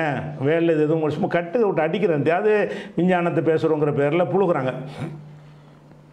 அடுத்ததாக அந்த பிட்காயின் டாஸு என்னமோ போட்டிருக்காங்க. டிட்காயின் நிறைய இருக்கும் போல இருக்குது இந்த கேப்சா இதை பற்றி இஸ்லாத்தின் நிலைப்பாடு என்னன்னு கேட்குறாங்க இந்த பிட்காயின் சொல்லி என்ன செய்கிறாங்கன்னா டிஜிட்டல் மணின்னு சொல்கிறாங்கல்ல அந்த பிட்காயின் பற்றி இஸ்லாத்தின் நிலைப்பாடு என்னன்னு கேட்குறாங்க பொதுவாக அடிப்படையான ஒரு விஷயத்தை நம்ம விளங்கிக்கிறோன்னு ஒவ்வொரு பொருளுக்கும் அல்லாஹ் வந்து இயற்கையாக ஒரு மதிப்பை கொடுத்துருப்பான்.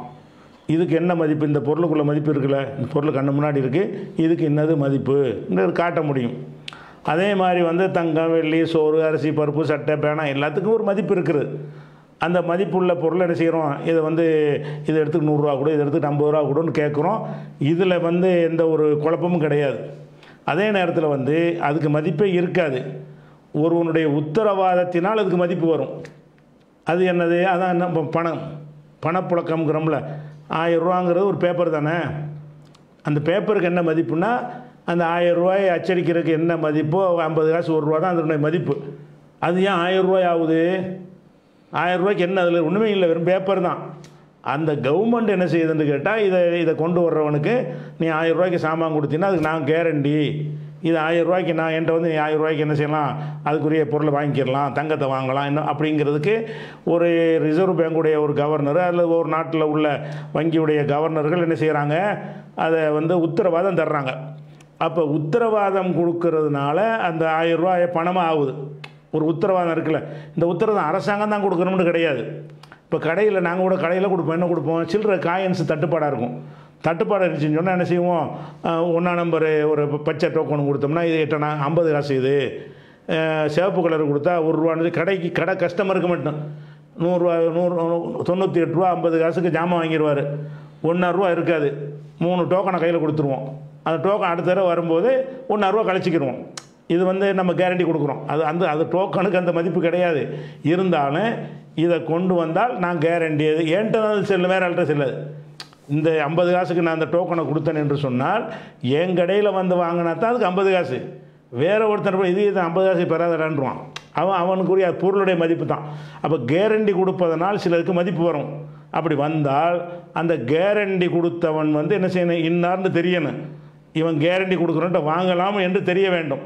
அப்படி இருந்தால் தான் அது வந்து நேர்மையாக இருக்க முடியும். இப்போ வந்து இந்த உண்டியல் வியாபாரம் பண்ண ஹவாலா பண்ணுறாங்க இல்லையா? ஹவாலா பண்ணுறவங்க என்ன செய்வாங்க? அவங்க சில சில கோடு வேர்டெலாம் வச்சுருப்பாங்க. சில பேப்பரை வச்சுருப்பாங்க. ஒரு ரூபா நோட்டை கூட வச்சு பத்து ரூபா நோட்டை கொடுத்து அந்த இந்த நோட்டை இந்த நம்பரை கொண்டு வந்தவனுக்கு நீங்கள் ஒரு லட்ச ரூபா கொடுங்கம்பாங்க. பத்து ரூபாய்க்கு ஒரு லட்ச ரூபா மதிப்பு.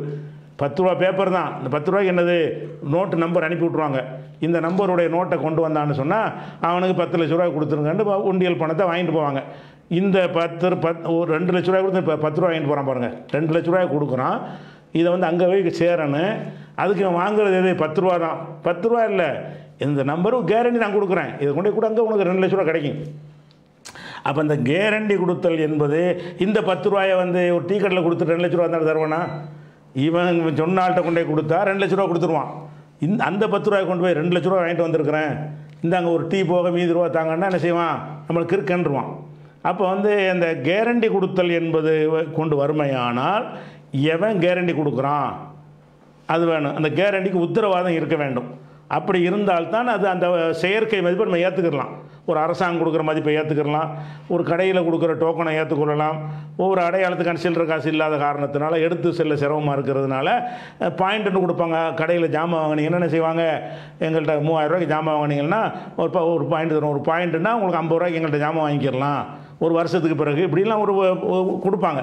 அது கொடுத்தானே அவன்கிட்ட தான் செல்லும் எங்கேயுமே செல்லாது. இதுதான் அந்த கேரண்டிங்கிறது நீங்கள் சொல்லக்கூடாது பிட் பிட்காயின்கிறது என்னென்னு கேட்டால் டிஜிட்டலில் நம்பர் அடித்து வச்சுருப்பானுவோம் அதை ஒரு இது ஒருத்தர் வாங்குறாங்கிறான். சரி எவன் உனக்கு கேரண்டி தர்றது யார்? பிட்காயின்லாம் ஒன்றுமே கிடையாதுன்னு ஆக்கிட்டானா எங்கே போய் யார்கிட்ட போய் கேட்பேன் எவன்கிட்ட போய் நீ கேட்ப? பிட்காயின்ங்கிறதுக்கு வந்து அது மக்கள் எல்லாம் ஏ எல்லோரும் ஏற்றுக்கிட்டான்னு வைங்களேன். எல்லாம் ஏற்றுக்கிட்டான்னா அது வந்து நம்பிக்கை மக்களுக்கு வந்துடுது ஆனால் ஒரு ஒரு ஒரு ஒரு கட்டத்தில் இதுக்கு கேரண்டி கொடுத்தவன் யாருமே இல்லை. பிட்காயின்லாம் தேவையில்லைங்கன்னு சொல்லிட்டானுவோ. இது என்ன பிட்காயின் ரூபாய் கொடுங்கன்னு கேட்க ஆரம்பிச்சிட்டான்னு வைங்களேன். அப்போ இந்த பிட்காயினை வச்சு நாக்கையை வலிப்பேன் எவன்கிட்ட கடைசியாக போய் யார்கிட்ட வாங்குவேன் நம்ம கடைக்கு போகிறோம் எந்த கடையிலையும் வாங்க மாட்டேங்கிறான். கடைசியாக ரிசர்வ் பேங்கில் போய் கொடுத்துருவோம்ல கொடுக்க முடியுமா இல்லையா? அதுக்குரிய மதிப்புக்குரிய எனக்கு கிளைம் பண்ணி வாங்க முடியுமே. அப்போ அந்த மாதிரியாக வந்து இந்த பிட்காயின்ட்டு சொல்லக்கூடிய என்னென்னு கேட்டால் ஒரு டிஜிட்டல் மணி கற்பனையான ஒரு பணத்தை வச்சுக்கிறாங்க. அதை வந்து நம்ம என்ன செய்கிறது அது பெரிய தொகையை கொடுத்து வாங்குறது.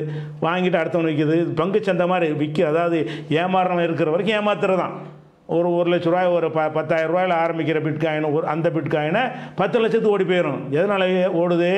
இந்த சூதாட்டத்தின் மூலமாக ஏற்றி விடுறது. இந்த பங்கு சந்தையில் இல்லாத ஒன்றை ஏற்றி விட்றாங்கல்ல. அந்த மாதிரி ஏற்றி விட்றதுனால ஓடிக்கிட்டே இருக்கும். எது வரைக்கும் ஓடும்? ஏமாறுறவனுக்கு சங்கிலி தொடராக இருந்துக்கிட்டே இருந்தாண்டா ஓடிக்கிட்டே இருக்கேன் ஏமாறுறவன் நின்றாண்டு வைங்க. ஒருத்தன் வேணான்ட்டான். அடுத்து என்ன? இவன் வேணாங்கிறான். அவன்கிட்ட போனான் எனக்கு வேணாம். நான் நான் பொறுப்பு இல்லை. நான் பொறுப்பு இல்லை. கடைசி பிட்காயின் நான் தான் வாங்குறேன்ப்பா. வாங்கிட்டு எனக்கு பிறகு ஒருத்தன் வாங்க மாட்டேங்கிறாங்க. பிட்காயின்னா சரியில்லைங்கட்டு நான் என்ன செய்கிறேன் நான் யார்கிட்ட கொண்டு வாங்கினேன் அவன்கிட்ட போய் கேட்குறேன் ஏ வாங்கிட்டு வேலையை பார்த்து போ. கேரண்டி தரமாட்டான். ஏன்? இன்னுமே ஓடாதுல. அது ஓடிக்கிட்டே இருந்தால் தான். எவனாச்சும் ஏமாந்துக்கிட்டே இருந்தால் தான். அப்போ வந்து முதல் விஷயம் என்னென்னு கேட்டால் இதில் ஃப்ராடாக இல்லையா? பிட்காயின்கிற ஃப்ராடு தானே. எவன் எவன் எதை உண்டாக்கினான்? இந்த இத்தனை ரூபாண்டு மதிப்பை நிர்ணயிச்சது யார்? அந்த தொகை கிடைக்காட்டி அதுக்கு என்ன அதுக்கு எவன் தருவான்? அதை யாருக்கு தருவான்? எந்த மாதிரி தருவான்? எல்லாம் க நம்பர் தான். கற்பனையில் கொடுக்க நம்பர் தான். அந்த நம்பருக்கு நீங்கள் ஏற்றுக்கிறதுனால அது அது ஒரு மதிப்பாக இருக்குது. மக்கள் ஏற்றுக்கிறது முடிவு எடுத்தாங்கன்னா ஒன்றுமே கிடையாது. ஆனால் தங்கம் வெள்ளியெல்லாம் ஏற்று நான் ஏற்றுக்கிற முடியாது. செல்லான்னு சொல்ல முடியுமா? நீ ஏற்றுக்கிட்டா என்ன? நேற்றுக்கிறாட்டு போனடா இந்த தங்கத்துக்குள்ள மதிப்பு இருக்கும்டா. அந்த மவுஸுக்குள்ளே ஒரு பேனா ஒரு பிளேடுக்குள்ள மதிப்பு இருக்குது. உன் பிட்காயினுக்கு மதிப்பு கிடையாது. ஒரு சேவிங் பிளேடுக்கு அந்த பிளேடுக்குரிய மதிப்பு இருக்கிறது. நீ கொடுக்குற பிட்காயினுக்கு நீ உத்தரவாதம் தர உத்தரவாதத்தினால் தான் ஒன்றுக்கு மதிப்பு வரும். செயற்கை மதிப்புகள் எல்லாம். இதுக்கு எவன் உத்தரவாதம்? யார் அதனுடைய ஓனர் யார்? கடைசியாக ஒருத்தன் உண்டாக்குனான்ல இதுக்கு நான் இவ்வளோ தர்றேன்னு ஒருத்தன் பரப்பி விட்டான்ல அவன் யார்? அவன் அவன் எக்ஸோ எவனோ இருப்பான்ல. அவன்கிட்ட போய் நீ கேட்பியா அவனை யாருன்னே தெரியாமல் வச்சுருந்தா என்ன அர்த்தம்? எவனோ இந்த நம்பரை போட்டு ஏமாளிகள் தலை கட்டி விட்றான். இந்த ஏமாளி என்ன செய்கிறான் இவன் வந்து பத்து ரூபா ஜாமான இருபது ரூபாய்க்கு விற்க முடியுதுன்னு அது வாங்குறான். அவன் என்ன செய்கிறான் இருபதுக்கு கை முப்பதுக்கு விற்க முடியும் அவன் வாங்குறான். அவன் என்ன செய்கிறான் முப்பதுக்கு நாற்பதுக்கு விற்க முடியும்னு அதை வாங்குறான். வாங்கினது பத்து ரூபாய்க்கு தான். எதனால் வாங்குறான்? பில்டப் பண்ணி விட்ருவானுங்க பிட்காயின் அப்படிப்பட்டது அரசாங்கத்தில் வரி கட்டாமல் க பணி சேவிங்காக இருக்கும் அப்படியா இருக்கும்னு அதை வந்து எந்த அளவுக்குன்னு கேட்டால் இவங்க கள்ள பயில்வங்க அது பிட்காயின் சொல்கிறப்ப திருட்டு பயில்வ என்பதற்கு ஆதாரம் என்னன்னு கேட்டால் ஒரு ஒரு ஒன்றரை மாதத்துக்கு முன்னாடி பிரபலமான யூடியூப் சேனல்கள் அதாவது லட்சங்களுக்கு மேலே பார்வையாளர்களை கொண்ட யூடியூப் சேனல்கள் இருக்குல்ல அவ்வளவையும் முடக்கி விட்டு அது உள்ளக பிட்காயின் விளம்பரம் போடுறாங்க. சேனலை கையில் எடுத்துடுறாங்க எடுத்து ஒரு நாள் பூரா என்ன கொடுதுன்னு கேட்டால் இந்த பிட்காயினுடைய மதிப்பு போட. அப்போ என்ன அர்த்தம்? இந்த பிட்காயின் ஒரு திருட்டு பையனும் ஒன்று என்ன செய்யறான்? செயற்கையாக மதிப்பு உண்டாக்குறான்னு விளங்குதா? அது இயற்கையாக மதிப்பு தான். என்னோட சேனலை முடக்கையில் விளம்பரம் பண்ணுறீங்க தமிழ்நாட்டிலே பல சேனல் முடக்கப்பட்டுச்சு. ஒரு நாள் ரெண்டு நாள். அந்த ஒன்று ரெண்டு நாள் என்ன இருக்குன்னு கேட்டால் பிட்காயினை பற்றின செய்திகள் தான் வருது. இதை வாங்குங்கள் அந்த பிட்காயின் வாங்குங்கள் அப்படி இப்படின்னு சொல்லி என்ன செய்கிறது அதை வந்து பூஸ்ட் பண்ணுறாங்க அப்போ என்ன விளங்குது? இது வந்து ஒரு கள்ளப்பெயர் இருந்து கொண்டு செயற்கையாக மதிப்பை உண்டாக்கி கொண்டு அதை வந்து நம்ம நூறுரூவான்னு சொல்லி வாங்குகிற பிட்காயினை வந்து இரநூறுக்கு வாங்குற அளவுக்கு பில்டப் பண்ணி விட்ருவாங்க இரநூறுக்கு ஒருத்தன் வாங்குவான். அவனை நானூறுக்கு விற்கிற அளவுக்கு பில்ட் பண்ணி விட்ருவாங்க எனக்கு நானூறுரூவாய்க்கு தாங்க. அவன் என்ன செய்வான்? எண்ணூறு லட்சத்துக்கெல்லாம் ஓடி போச்சு. பல லட்சங்களுக்கு போச்சு ஒரு காயின் அப்போ எப்படி போவேன்? ஏற்றி விட்றது. ஏமா வாங்க ரெடியாக இருந்தால் அது மதிப்பு தான் நினச்சிக்கிட்டாங்க. வாங்க ரெடியாக இருந்தால் ஏறத்தான் செய்யும். ஒரு தடவை லாக்கான என்ன ஆகும்? எல்லாம் முடிஞ்சு வச்சுக்கத இது லாக் ஆகாது. பொருள்களுடைய இயற்கையான மதிப்பு லாக் ஆகாது. அப்போ வந்து இந்த செயற்கையான மதிப்புகளுக்கு வந்து என்ன செய்யணும்னு கேட்டால் எவன் கேரண்டி தர்றான்? அந்த கேரண்டி உறுதியானதாக இருக்க வேண்டும். இது ஃப்ராடு பித்தலாட்டம் மோசடி ஏமாற்று அனைத்தும் அடங்கியது இது. ஏன் சில அரசாங்கங்கள் ஏற்று இது ஏற்றுக்கிறாங்கன்னு கேட்டால் அரசாங்கமே ஃப்ராடு அரசாங்கமாக தானே இருக்குது. உன் பங்கு சந்தையே ஃப்ராடு தானே? இந்த ஒரு அம்மா மாட்டிருக்கு பங்கு சந்தையில் அவ்வளோ பேர் கள்ளத்தனம் பண்ணி தான் பூஸ்ட் பண்ணியிருக்காங்கன்னு விளங்கி போய் சாமியார்கிட்ட போய் பகிர்ந்து கொண்டாள்னு சொல்லி அரெஸ்ட் பண்ணியிருக்கிறீங்களே. பங்கு சந்தை இப்போ எல்லாத்தையும் சூதாட்டத்தில் ஏமாற்றிருக்கிறீங்க அரசாங்கமே இதை செய்யுது. பங்கு சந்தைங்கிற பேரில் இல்லாத ஒன்று இருக்கிற மாதிரி பில்டப் பண்ணி நூறுரூவா ஷேர் என்ன செய்யறது இது ஒரு லட்ச ரூபா ஷேரு ஒன்றரை லட்ச ரூபா ஷேர்னு அவன் வாங்கிட்டு போவான். ஏமாளி இருக்கிற வரைக்கும் ஓடும். அந்த மாதிரியான ஒரு விஷயத்தில் வந்து இதில் போய் நம்ம வாங்கவும் கூட. ஏமாறக்கூடாதுன்னு மார்க்கத்தில் இருக்குல்ல? நகா ரசூலுல்லாஹி ஐசல்லா அலைஹி பையில் கரர். ஏமாத்துகிற எல்லா வியாபாரத்தையும் ரசூல்லா தடுத்தார்கள். இது ஏமாத்துற ஏமாத்தாமல் என்ன செய்கிற ஏமாத்துறேன்னா என்ன செய்யணும் சார் அன்னைக்கு வேணாம் ரூபாயை கொடுறான்னா முடியாது? ரூபாயை எங்கே போய் கேட்குறது ரூபாயெல்லாம் கேட்க முடியாது. இதை வாங்குற ஏதாவது கடையில் போய் நம்பரை பிட்காயின் நம்பரை மாற்றி விட்டு ஜாமான் வாங்கலாம். அதுவும் எப்போ வாங்கலாம்? அந்த ஏமாளியும் நம்பர் ஒன்றா இருந்தால் தான். எந்த ஏமாளி இதை ஏற்றுக்கொள்கிறவனாக இருக்கிறானோ அது வரைக்கும். எல்லா ஏமாளிகளும் இனிமேல் இது ஒர்க் அவுட் ஆகாது. ஒரு லிமிட் தெரிஞ்சு போச்சு ஃப்ராட் பண்ணுறாங்கன்னு தெரிஞ்சு நான் மாட்டேன் நீ மாட்டேன்னு எந்த கடையிலும் வாங்க மாட்டேன்ட்டான். இதை என்ன செய்வ? இந்த பிட்காயின் நம்பர் வச்சு என்ன செய்வேன் நான் கூட வலிக்கல பேப்பர் இருந்தால் கூட இது உதவும். நம்பர் தான் டிஜிட்டல் நம்பர் தான். அதனால இது அப்பட்டமான ஃப்ராடு பித்தலாட்டம் மோசடி அயோக்கியத்தனம். இதில் வந்து யாரும் இறங்கக்கூடாது. ஏமாறவும் கூடாது ஏமாற்றவும் கூடாது. இவன் ஏமாறுவான். நம்ம ஏமாந்த மாதிரி இன்னும் நாலு பேரை ஏமாற்றி நம்ம கூட விற்றுருவோம்னு நினைக்கிறான். இந்த இதில் ஈடுபடுற அத்தனை பேருமே என்ன செய்கிறான் ஏமாறுறான் ஏமாத்துறான். ரெண்டுமே மார்க்கு தடுக்கப்பட்டிருக்கு. அடுத்ததாக என் பெயர் இம்தியாஸ் வேலூர். ப்ராவிடண்ட் ஃபண்டு என்கிற பெயரில் கம்பெனிகளில் இருக்கும் இருப்பு பணத்திற்கு ஜக்காத்து கொடுக்க வேண்டுமா? அப்படின்னு கேட்குறாரு. இந்த ப்ராவிடண்ட் ஃபண்டுண்டா என்ன செய்வாங்க? நம்முடைய ஊதியத்திலிருந்தே ஒரு தொகையை பிடித்துக்கொள்வார்கள் அரசாங்க நிறுவனத்தில் வந்து கம்பல்சரியாக பிடித்துக்கொள்வார்கள் பெரிய பெரிய நிறுவனங்களை பிடித்து கொள்ள வேண்டும் என்று என்ன செய்கிறாங்க எதுக்கு இருக்கிறாங்கன்னா அவன் வயதான காலத்தில் உதவுறதுக்காக வேண்டி. இந்த இதெல்லாம் பிடிச்சோம்னு சொன்னால் அந்த வேலையை விட்டு போகிற நேரத்தில் அவன் கஷ்டப்படக்கூடாது என்பதற்காக வேண்டி அது ஒரு சேவிங்காக இருக்கட்டும் என்பதற்காக வேண்டி அரசாங்கத்தில் பிடிச்சு அவனுக்கு தான் கொடுக்க போகிறாங்க அவன் காசு தான் அது. அதே மாதிரி பெரிய பெரிய நிறுவனங்கள்லாம் இதெல்லாம் ஊழியர்களுக்கு அது மாதிரி கொடுக்கணும். இத்தனை ஊழியர்களுக்கு மேலே இருந்தாங்கன்னு சொன்னால் அவங்களும் அந்த ப்ராவிடென்ட் ஃபண்டை வந்து பிடிக்கணும். பிடித்து அவன்கிட்ட இருந்து பிடிக்கிற மாதிரி ஒரு தொகையை இவங்க இவங்க போடணும். ஒருத்தன்ட்ட ப்ராவிடென்ட் ஃபண்டு நூறுரூவா பிடிச்சோம்னு சொன்னால் அந்த வேலைக்கு வச்சுக்கிற கம்பெனி இன்னொரு நூறு அவன் போடணும். இரநூறுவா அவனுக்கு சேவா சேவாகும். இப்படியே சேமிச்சுக்கிட்டே வந்து ஒரு அவன் ரிட்டையர்ட் ஆகும்போது அந்த பணத்தை என்ன செய்வான்? கொடுப்பாங்க. இது வந்து இந்த பணத்துக்கு ஜக்காத்து கொடுக்கணும்னு கேட்குறீங்க எந்த பணமாக இருந்தாலும் சரி நம்முடையதை எதுவாக இருந்தாலும் ஜக்காத்து கொடுக்கணும். ப்ராவிடென்ட் ஃபண்டு என்பது உங்கள் பணம் தானே அது? உங்களுக்கு உங்களுக்கு தான் தரப்போகிறான் ஒன்று நீங்கள் உங்கள்கிட்ட சம்பளத்தில் பிடிக்கிற பணம் அது உங்கள் பணம் தான் உங்களுக்காகவே அவன் உங்களுக்கு அன்பளிப்பாக தர்றான் இன்னொரு மடங்கு. அது உங்கள் பணம் தானே? அது உங்கள் நீ உங்கள்கிட்ட பிடிக்கிற பணமும் உங்கள் பணம் தான். ஒருத்தன் நமக்கு அன்பளிப்பாக தந்தால் நம்ம பணம் தானே அது? அரசாங்கத்திலேயோ நிறுவனத்திலேயோ உங்களுக்கு நீங்கள் போடுற பிராவிடனுக்கு ஏற்ற மாதிரி ஒரு தொகையை தர்றான்னு வைங்க. வந்தால் உங்களுக்கு அது அன்பளிப்பான பணம். அப்போ எல்லாம் உங்கள் பணம் தான். அப்படிங்கும் பொழுது நீங்கள் அந்த பணம் உங்கள் வருவாயாக இருந்தால் ஜக்காத்து கொடுத்தா ஆகணும் எப்படி கொடுக்கணும்? ஒவ்வொரு மாதமும் உங்களோட ப்ராவிடென்ட் ஃபண்டு எவ்வளோ பிடிக்கிறான்னு உங்களுக்கு தெரியும். அவன் எவ்வளோ உங்களுக்கு தர்றான்னு தெரியும்ல? அந்தந்த மாதமே ஜக்காத்தை கொடுத்துட்டு வந்துட்டீங்கன்னா உங்களுக்கு சேர்ற பணம் ஜக்காத்து கொடுக்கப்பட்ட பணமாகிவிடும். அப்படி இல்லைன்னு சொன்னால் என்னைக்கு நீங்கள் ரிட்டையர்ட் ஆகும்போதோ அல்லது வேறு ஒரு நேரத்திலேயே கிளைம் பண்ணி அதை வாங்குறீங்களோ வாங்கும்போது அதுக்குரிய ஜக்காத்து கொடுத்தா ஆகணும். உங்கள் காசு தானே? வருமானம் தானே? வருமானத்துக்கு ஜக்காத். வருமானத்துக்கு ஜக்கா உங்கள்கிட்ட சம்பளத்தில் உங்கள் சம்பளத்தில் நூறுரூவா பிடித்து ரிசீவ் போது தான் நூறுரூவாய்க்கு நீங்கள் ஜக்காத்து முன்னாடி கொடுத்துட்டீங்கன்னா கொடுக்க தேவையில்லை. கொடுக்காம இருந்தால் சேமித்த பணத்தை உங்களுக்கு தருவார்களையா?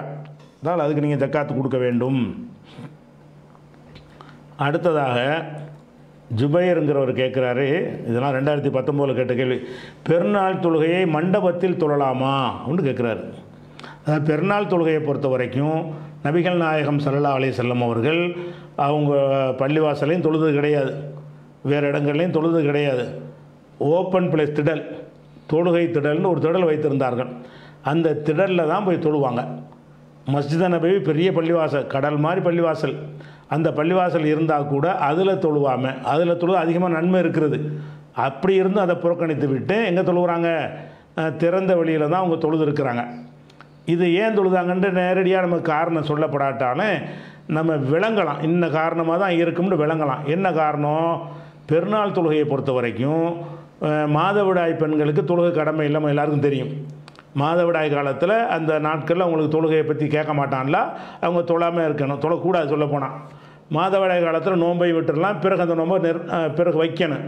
தொழுகையை பொறுத்த வரைக்கும் அந்த விடுபட்ட நாட்களுடைய தொழுகையை பிறகு அவங்க நிறைவேற்ற வேண்டியதில்லை. இது இஸ்லாத்தினுடைய அடிப்படையான ஒரு சட்டம் மார்க்க சட்டம்.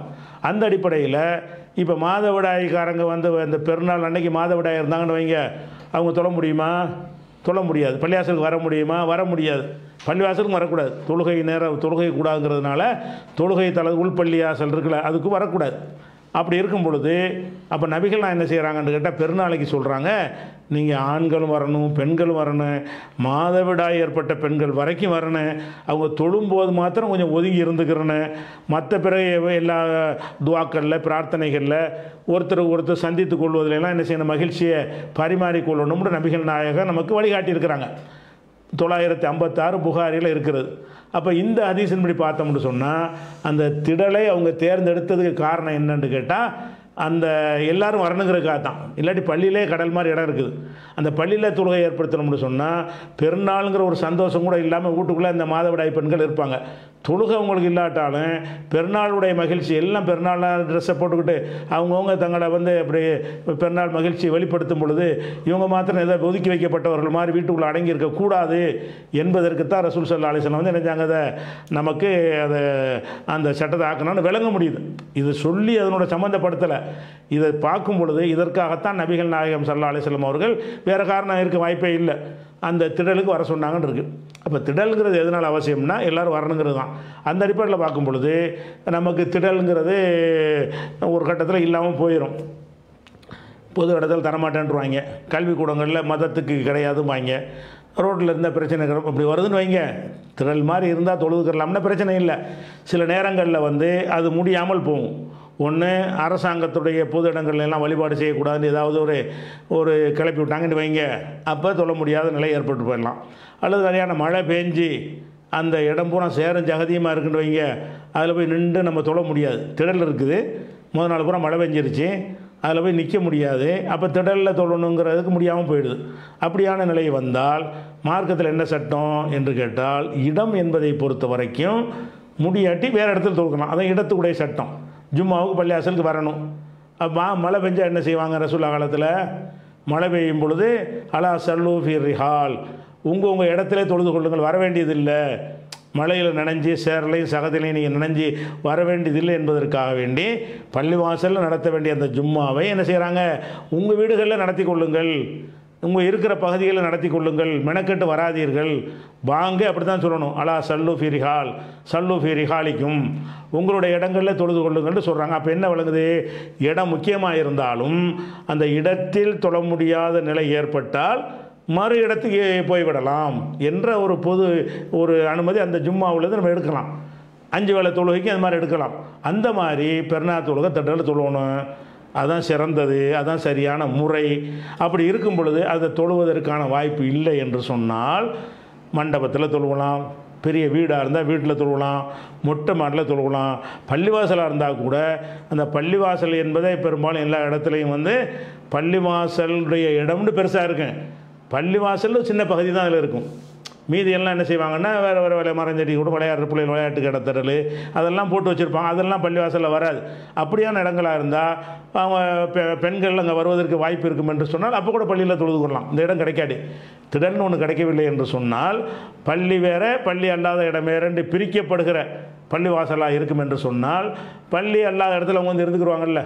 பெண்கள் வரணுங்கிற அந்த நோக்க நிறைவு இதெல்லாம் எப்போன்னு கேட்டால் திடல் கிடைக்காட்டி தான் திடல்ங்கிற ஒரு அமைப்பு கிடைக்கல. அதில் இருந்தால் அதை பயன்படுத்த முடியலைன்னு சொன்னால் எந்த ஒரு ஆத்மாவையும் சக்திக்கு மீறி அல்லாஹ் வந்து சிரமப்படுத்த மாட்டான். லாயு கல்லிபுல்லாஹு நப்சன் இல்லா உசாகா எந்த ஆத்மாவையும் அதன் சக்திக்கு மேலே அல்லாஹ் சிரமப்படுத்த மாட்டான்ங்கிற வகையில் திடல் கிடைக்கல அல்லது திடலை பயன்படுத்த முடியலை. அப்படிங்கிற மாதிரி எல்லாம் மக்கள் வர முடியாத அளவுக்கு ஏதாவது ஒரு கலவரங்களோ ஒரு நடந்து இங்கேருந்து அங்கே போக முடியாது இங்கேருந்து அங்கே போக முடியாதுன்னு வந்தால் திரளுக்கும் போக முடியாது. அது மாதிரி இருக்குது. அல்ல ஏதோ ஒரு இடத்துல ஒரு குண்டு வெடிச்சு போச்சுன்னு சொல்லி டிராஃபிக்கே க்ளோஸ் பண்ணி விட்டான் வர முடியாதுன்னா இருக்கிற இடத்த தொழுதுட்டு போங்க. எங்கள் தொழுகையை விட முடியாது. பெருநாள் கட்டாய கடமை. அதை விட முடியாது. இடத்த விடலாம். என்கிட்ட கேட்டால் இடம் கிடைக்கிட்டு வேறு இடம் போய்க்கிடலாம். இடம்ங்கிறது வந்து கே- சக்தி இருந்தால் தான் உள்ளது. கடமை என்பது வந்து நீங்கள் சக்தி இருக்கிற இடத்துல வ- நிறைவேற்றுங்கன்னு உள்ளது. அதனால் எங்கே வேணாலும் தொழுவலாம். எப்போ? திடல்ங்கிறது அது பொருத்தமாக இல்லாட்டி தான். சரியா? அடுத்தது வியாபாரம் சம்பந்தமான கேள்வி. என்ன கேட்குறாருன்னா ஒரு பொருளை விற்கும் பொழுது அந்த பொருளுடைய விலை ஐநூறாக இருந்தால் வரக்கூடிய வாடிக்கையாளரின் தகுதிக்கு ஏற்ப விலை நிர்ணயம் செய்து அதாவது ஒரே பொருளை ஒருவருக்கு ஐநூறாகவும் இன்னொருவருக்கு அறநூறாகவும் விற்பது மார்க்கத்தில் கூடுமா? அல்லது ஒட்டுமொத்தமாக அந்த பொருளின் விலை ஃபிக்ஸட் ப்ரைஸாகத்தான் விற்க வேண்டுமா? என்று கோவையிலிருந்து மின்ஹாஜி என்பவர் கேட்குறார். அதாவது பொருளை விற்கிறதை பொறுத்த வரைக்கும் இஸ்லாத்தில் இந்த வியாபாரிகளுக்கு வந்து எந்த ஒரு கட்டுப்பாடையும் இஸ்லாம் கொடுக்கல. விற்க அவன் உரிமை. அவனுக்கு உரிய பொருள் அது. இது என்னுடைய பொருள். இந்த பொருளை நான் எவ்வளோக்கு விற்றாலும் இஸ்லாம் தலையிடாது. ஆனால் உங்களுக்கு விற்க முடியாது. ஏன்னு கேட்டால் நான் இன்னும் இன்னொருத்தன் நீங்கள் ஆயிரரூவாமிங்க முந்நூறுரூவாய்க்கு ஒருத்தன் கொடுக்க ரெடியாக இருப்பான் உங்களால் விற்க முடியாது. அது அதுவே உங்களை வந்து கண்ட்ரோலுக்கு கொண்டு வந்துடும் அதுக்காக வேண்டி தாறுமாறலாம் உங்களுக்கு ஏற்ற முடியாது. அப்போ அந்த பொருள்களை பொறுத்த வரைக்கும் ரசுல்லாவுடைய காலத்தில் பொருள்களுடைய விலையெல்லாம் ஏறிவிட்டது. அப்போ உணவுப் பொருள்கள். அப்போ நபிகள் நாயகத்திட்ட வந்து கேட்குறாங்க அல்லாவுடைய தூதரை இந்த விலையை வந்து நீங்கள் வந்து கட்டுப்படுத்துங்க. இன்ன பொருளை இன்ன விலைக்கு தான். அவங்க தான் அவங்க தான் ஜனாதிபதி. அல்லாவுடைய தூதர் அவங்க தான். அவங்க தான் அதிபர் அவங்க தான். அவங்கள்ட்ட முறையிடுறாங்க. விலை அதிகமாக இருக்கிறது. நீங்கள் அதை விலைக்கு கண்ட்ரோல் பண்ணுங்கள் அப்போ நபிகள்லாம் என்ன சொன்னாங்கன்னா கண்ட்ரோல் பண்ண மாட்டேன். அந்த மனிதனுக்கு அநீதி இழைத்தவனாக நான் அல்லாவை சந்திக்க விரும்பவில்லை. அவனுடைய பொருள் அது. அவன் வந்து அதுக்கு என்ன பாடுபட்டான்? அவனோட பல சூழ்நிலைகளை வச்சு அவன் என்ன செய்வான்? முடிவு செய்வான். தக்காளி உற்பத்தி பண்ணுவான். டிமாண்டாக இருந்தால் ஒரு ஒரு கிலோ தக்காளி நாற்பதுக்கு போகும். டிமாண்ட் இல்லாமல் அதிகமாக உற்பத்தி ஆச்சுன்னா நாற்பது பைசா கூட போகாது. அப்போ அதிலெல்லாம் நான் போய் நிர்ணயம் பண்ணுறேன் அதை வச்சு கா அந்த சூழ்நிலைகள் அதை வந்து அவனை தள்ளி விட்டுரும். அதனால் இந்த விலை விஷயத்தை பொறுத்த வரைக்கும் ஒரு மனுஷன் விற்கிறவனுக்கு எல்லா உரிமையும் கிடைக்கிறது. என்ன விலைக்கு வேணாலும் விற்கலாம் ஆனால் விற்க முடியாதுங்கனால அது விஷயம் தலையிடலை. என்ன விலைக்கெல்லாம் விற்ற முடியுமா? அதுக்காண்டி பத்து ரூபா ஜாமான ஐநூறுரூவா நம்ம வாங்குவோமா அவன்? வாங்க மாட்டான். அவன் வாங்குவோண்டா நடத்தான் அவனே அவனே மார்க்கெட்டை அனுசரித்து தான் விலை சொல்லுவான். அப்படி விட்டுருச்சுலாம் மார்க்கெட்டை அனுசரித்து அவன் ஒழுங்காக நடந்துக்கிடுவான் அப்படி இருக்கும் பொழுது இந்த விலையை விற்கிறான்ல அதில் வந்து பல விலைகள் வரத்தான் செய்யும். எப்படி வரும்? நீங்கள் வந்து ஒரு பொருள் எடுத்தால் இது நூறுரூவா. இது பத்தாக எடுத்தீங்கன்னு சொன்னால் எண்ணூறுரூவான்னு ஒருத்தன் சொல்கிறான் இது ரெண்டு விலை தானே இது? ஒன்று எடுத்தால் நூறுரூவா. நீங்கள் பத்தா எடுத்தீங்கன்னா நீங்கள் போய் விற்கணும். நீங்கள் விற்கும்போது நான் என்ன செய்யணும்? என்னோடய லாபத்தை நான் குறைச்சிக்கிறேன். இவரும் போய் வியாபாரம் பண்ண வேண்டி இருக்கிறது இவர் போய் விற்க வேண்டி இருக்கிறது அப்போ இவனுக்கு நான் நூறுரூவாய் கொடுத்துப்புட்டு அவனுக்கு எண்பது ரூபாய் கொடுக்குறேன். எதனால் கொடுக்குறேன்? அவன் ஒரு வியாபாரிங்கிறான் அதிக தேவைக்கு வா வியாபாரியாக இருக்கலாம் அல்ல அதிக தேவை கூட வாங்கலாம். ஒரு கல்யாணம் காட்சிக்கு வாங்குவான். சாதாரணமாக ஒரு அரிசி மூட்டை இந்த விலைன்னு வைப்போம். நாங்கள் ஒரு பெரிய ஃபங்க்ஷன் வச்சுருக்குறோம். ஒரு ஆயிரம் அரிசி மூட்டை வேணும் அப்படின்னு கேட்பான். அப்போ நம்ம என்ன செய்வோம்? ஆயிரம் மொத்தமாக வாங்குறானேன்னு சொல்லிட்டு ஒரு மூட்டை அரிசி ஆயிரம் ரூபான்னு சொன்னால் அவனுக்கு ஐம்பது ரூபாய் குறைச்சி என்ன செய்வோம்? தொள்ளாயிரத்தி ஐம்பது ரூபாய்க்கு ஆயிரம் மூட்டையை கொடுப்போம். எதனால் கொடுக்குறோம்னு கேட்டால் நிறைய வாங்கும் பொழுது நம்ம சீக்கிரம் காலியாகிடுது இது தப்பா? இது தப்பு கிடையாது. இந்த மாதிரி விலை வித்தியாசங்கள் இருக்கிறது வந்து இருக்கும். அது போல் வந்து ஒருத்தன் வியாபாரம் பண்ணிக்கிட்டே இருப்பான். சாயந்தரம் ஆவோ அந்த பொருள் கெட்டு போகிற பொருளாக இருக்கும். இன்றைக்கி விற்கலைன்னா நாளைக்கு ஒன்றும் செய்ய முடியாது. அவள் காலையில் ஐநூறுரூவான்னு சொல்லிட்டு இருந்தால் சாயந்தரம் இரநூறுவாக்கிடுவான் காலையில் ஐநூறுரூவா ஐநூறுரூவான்னு சொல்லி விற்றுக்கிட்டே இருப்பான். அப்புறம் பார்ப்போம் ராத்திரி படுக்க போயிடுவோம் இந்த ஜாமான் நாளைக்கு வந்து பாதுகாக்க இயலாது. அப்போ என்ன செய்வோம் அந்த வழிக்கு விட்டுட்டு போவோம். அசலு கீழே வந்தாலும் பரவாயில்லை. அந்த உரிமை அவனுக்கு இருக்குதுல்ல? அப்படி என்ன செய்வான்? ஐநூறுரூவாய்க்கு பொருளை வாங்கிட்டு பாதி நேரம் ஒரு விலைக்கு விற்பான். மீதி நேரத்துக்கு இன்னொரு விலைக்கு விற்பான். என்கிட்ட அந்த பொருள் அது- ஒரு விஷயம். அதே மாதிரி சில வியாபாரிகள்லாம் என்ன செய்வாங்கன்னு கேட்டால் அந்த மாத கடைசியில் வந்து கம்மியான விலையை கொடுப்பாங்க. ஏன்னா வியாபாரி கடை வாங்கியிருப்பாங்க. பெரிய கம்பெனிகளில் வியாபாரிகள் கடனுக்கு போட்டிருப்பாங்க. அவனுக்கு பில்லை செட் பண்ண வேண்டிய நாள் ஒன்றாந்தேதிக்கு பில்லை செட் பண்ணணும் அவனுக்கு செட் பண்ணணும். இருபத்தஞ்சி நாளைக்கு விற்ற விலையை விட கடைசி அஞ்சு நாளைக்கு கம்மி பண்ணுவாங்க. ஏன்? பணம் இல்லை வியாபாரி கொடுக்குற காசு இல்லை. அப்போ ஐம்பது ரூபாயை வந்து இருபத்தஞ்சி ரூபாய்க்கு கொடுத்தா தான் நமக்கு அந்த விற்கும்னு சொன்னால் அப்புறம் போட்டு அதை போட்டு என்ன செய்வாங்க? அசலு கீழையும் கொடுப்பாங்க. கொடுத்து அதை நிவர்த்தி பண்ணி அந்த வியாபாரி கொண்டே கட்டுப்பட தேவைக்கு கட்டுப்பட முடியும். அப்படிங்கிற காரணத்துக்காக என்ன செய்வாங்க? அதை வந்து கொடுப்பாங்க. அது மாதிரி பல விஷயம் அது போக வந்து ஒரு பொருளை நான் விற்கிறேன் ஒருத்தர் வர்றாரு அவர் யார் எவரும் எனக்கு தெரியாது. அவருக்கு ஆயிரம் ரூபான்னு விற்கிறேன் இன்னொருத்தர் வர்றாரு அவர் எனக்கு ரொம்ப சொந்தக்காரராக இருக்கிறாரு. சும்மா வச்சு கேட்பான்னு கொடுக்குறேன். அவருக்கு சும்மா வச்சு கொடுத்தனால எனக்கும் சும்மா கேட்பான் அவன்? இவனுக்கு நான் நாம் என்னுடைய லாபத்தை வேணாம் சும்மாவுக்கு அசலே வேணான்னு கொடுக்குறேன். ஏன் உரிமை அது? அப்போ ஒருத்தர் உங்களுக்கு வேண்டிய ஒரு ஆளுக்கு டீ கடையில் இப்போ பத்து ரூபா டீ வைக்கிறீங்க. ரொம்ப நெருங்கிய ஒரு முக்கியமான நண்பர் வந்துட்டார். டீ போட்டு கொடுத்துட்டு காசு வாங்காமல் விட்றீங்க. அவருக்கு மட்டும் சும்மா எனக்கு மட்டும் காசுன்னு கேட்பீங்களா அவன் ரைட்டு. விரும்புனா பத்து ரூபாய்க்கும் கொடுப்பான் சும்மாவும் கொடுப்பான் அஞ்சு ரூபாய்க்கும் கொடுப்பான். அவனுடைய தேவையை பொறுத்தது அது அவன் முடிவெடுக்கிறது சில பேருக்கு என்னுடைய லாபத்தை வந்து பத்து ரூபா தான் ரேட்டு நான் சில பேர் விஷயத்தில் என் லா தொடர்ந்து வாடிக்கையாளர் இருப்பாங்க. அவங்களுக்கு கம்மி பண்ணுவான். என்னைக்காவது ஒருத்தர் வருவார் அவர் கம்மி பண்ண மாட்டான். அப்படிலாம் இருக்குல்ல. நம்ம கடையை தவிர வேறு எங்கேயும் போக மாட்டார் அப்படின்னு சொன்னால் அவர் கொஞ்சம் பேரங்கரம் பேசினார்னு சொன்னால் பத்து ரூபா எட்டு ரூபான்னு கொடுத்துருவோம். அப்போ தான் முதல் தடவை வர டெய்லியாக வரப்போகிறாரு பத்து ரூபா தாங்க நின்றுவோம். அப்படிலாம் உலகத்தில் இருக்கத்தான் இதை குற்றம் கிடையாது. இப்படிலாம் செய்கிறது நல்ல குற்றம் கிடையாது. ஆனால் இப்போ நவீன காலத்தில் வந்துக்கிட்டு இந்த பார்கின் பண்ணுறது பேரம் பேசுகிறதுங்கிறது இல்லை. என்ன இல்லை எல்லாமே இப்போ ஃபிக்ஸட் பண்ணிடுறாங்க. பார் கூட அடிச்சு விட்டுறாங்க. அது அந்த அவன் அவன் அவனை ஒரு நிர்ணயம் பண்ணிடுவான். யார் போட்டாலும் அந்த விலை தான் இருக்குது அப்படி செய்கிற தப்பான தப்பு இல்லை. அது அவன் தானே செய்கிறான் ஒருவன் விரும்பினானே ஆனால் எதுக்கு ஆள் ஆளுக்கு நம்ம பேரை பேசிகிட்டு இருக்கணும் எல்லாத்துக்கும் ஒரே விலையாக கொடுத்துருவோமே. அப்படி செஞ்சால் தப்பான தப்பு இல்லை. அப்படி இல்லாமல் ஹோல்சேலுக்கு ஒரு ரேட்டு காலையில் ஒரு ரேட்டு சாயந்தரம் ரேட்டு மாத கடைசியில் ஒரு ரேட்டு அந்த பொருளை பார்ப்பாங்க. இந்த பொருள் வந்து இன்னும் ஒரு ஆறு மாதத்துக்கு தாங்கும்னு சொன்னால் அதுக்கு ஒரு விலை சொல்லுவாங்க. ஒரு வாரத்தில் எக்ஸ்பைரி டேட் வரப்போகுதுன்னா அது கம்மியாக கொடுப்பாங்க. ஒரு வாரத்துக்குள்ளே தான் விற்று ஆகணும். அப்படி ஒன்றுக்கு ஒன்று ஃப்ரீன்னு போடுவாங்க. அதை எடுத்து பார்த்தீங்கன்னா டேட் முடிய போகும். சீக்கு குறுகிய காலத்தில் டேட் முடிஞ்சிடும் அந்த மாதிரிலாம் இருக்கக்கூடிய நேரத்தில் இப்படிலாம் செய்யிருந்தா தான் வியாபாரியும் வாழ முடியும். என்ற காரணத்தினால மார்க்கத்தில் ஃபிக்ஸடு பண்ணி தான் கொடுக்கணுங்கிறது கிடையவே கிடையாது என்பது என்ன செய்யணும் விளைவிக்கிறேன் இது எல்லாம் வந்து லாஜிக்காக தான் நான் சொல்லியிருக்கிறேன்.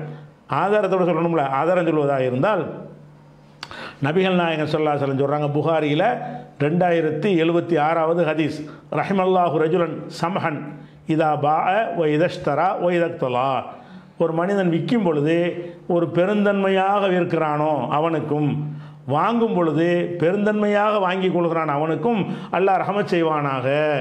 வியாபாரத்தில் ஒன்று பிடிச்ச பிடி நிற்கணும்னு கிடையாது. என்ன செய்யலாம்? ஆளை பார்த்து ஏ- ஏன் ஒரு ஏழையாக இருக்கிறான். பெருந்தன்மை அப்போ உனக்கு ஒன்று ஐம்பது குறைச்சிக்கிறேன். இது என்ன பெருந்தன்மைங்கிறது? ஃபிக்ஸடில் என்ன பெருந்தன்மை?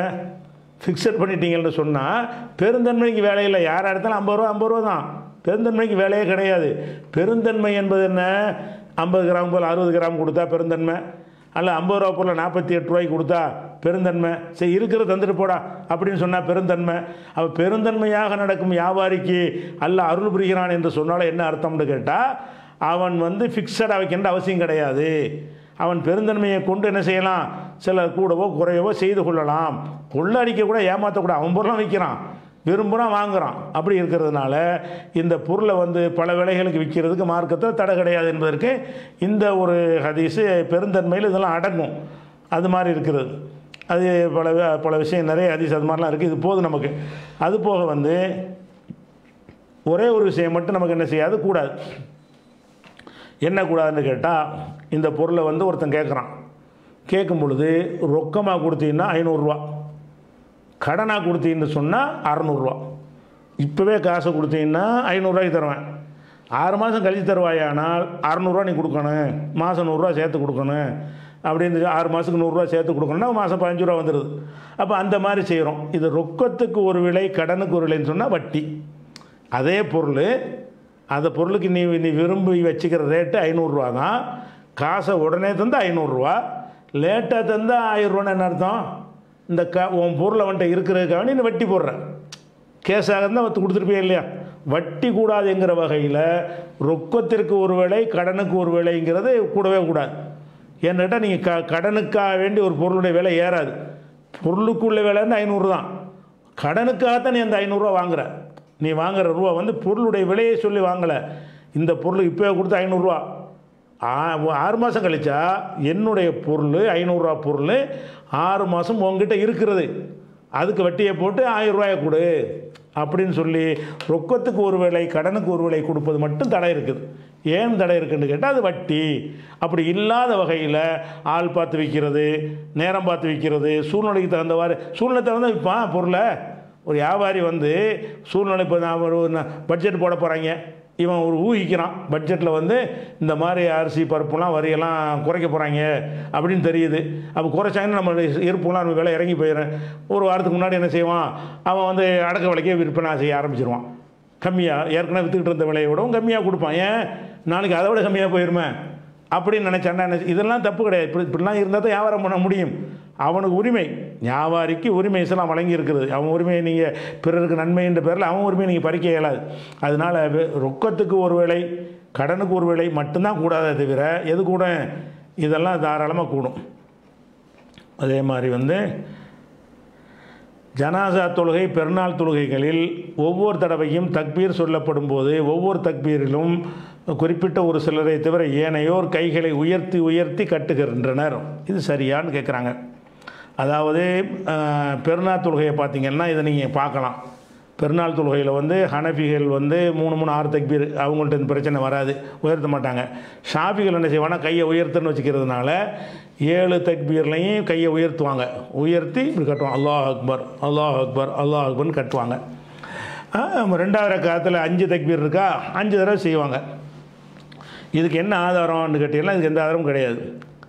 என்ன ஆதாரம் இல்லை?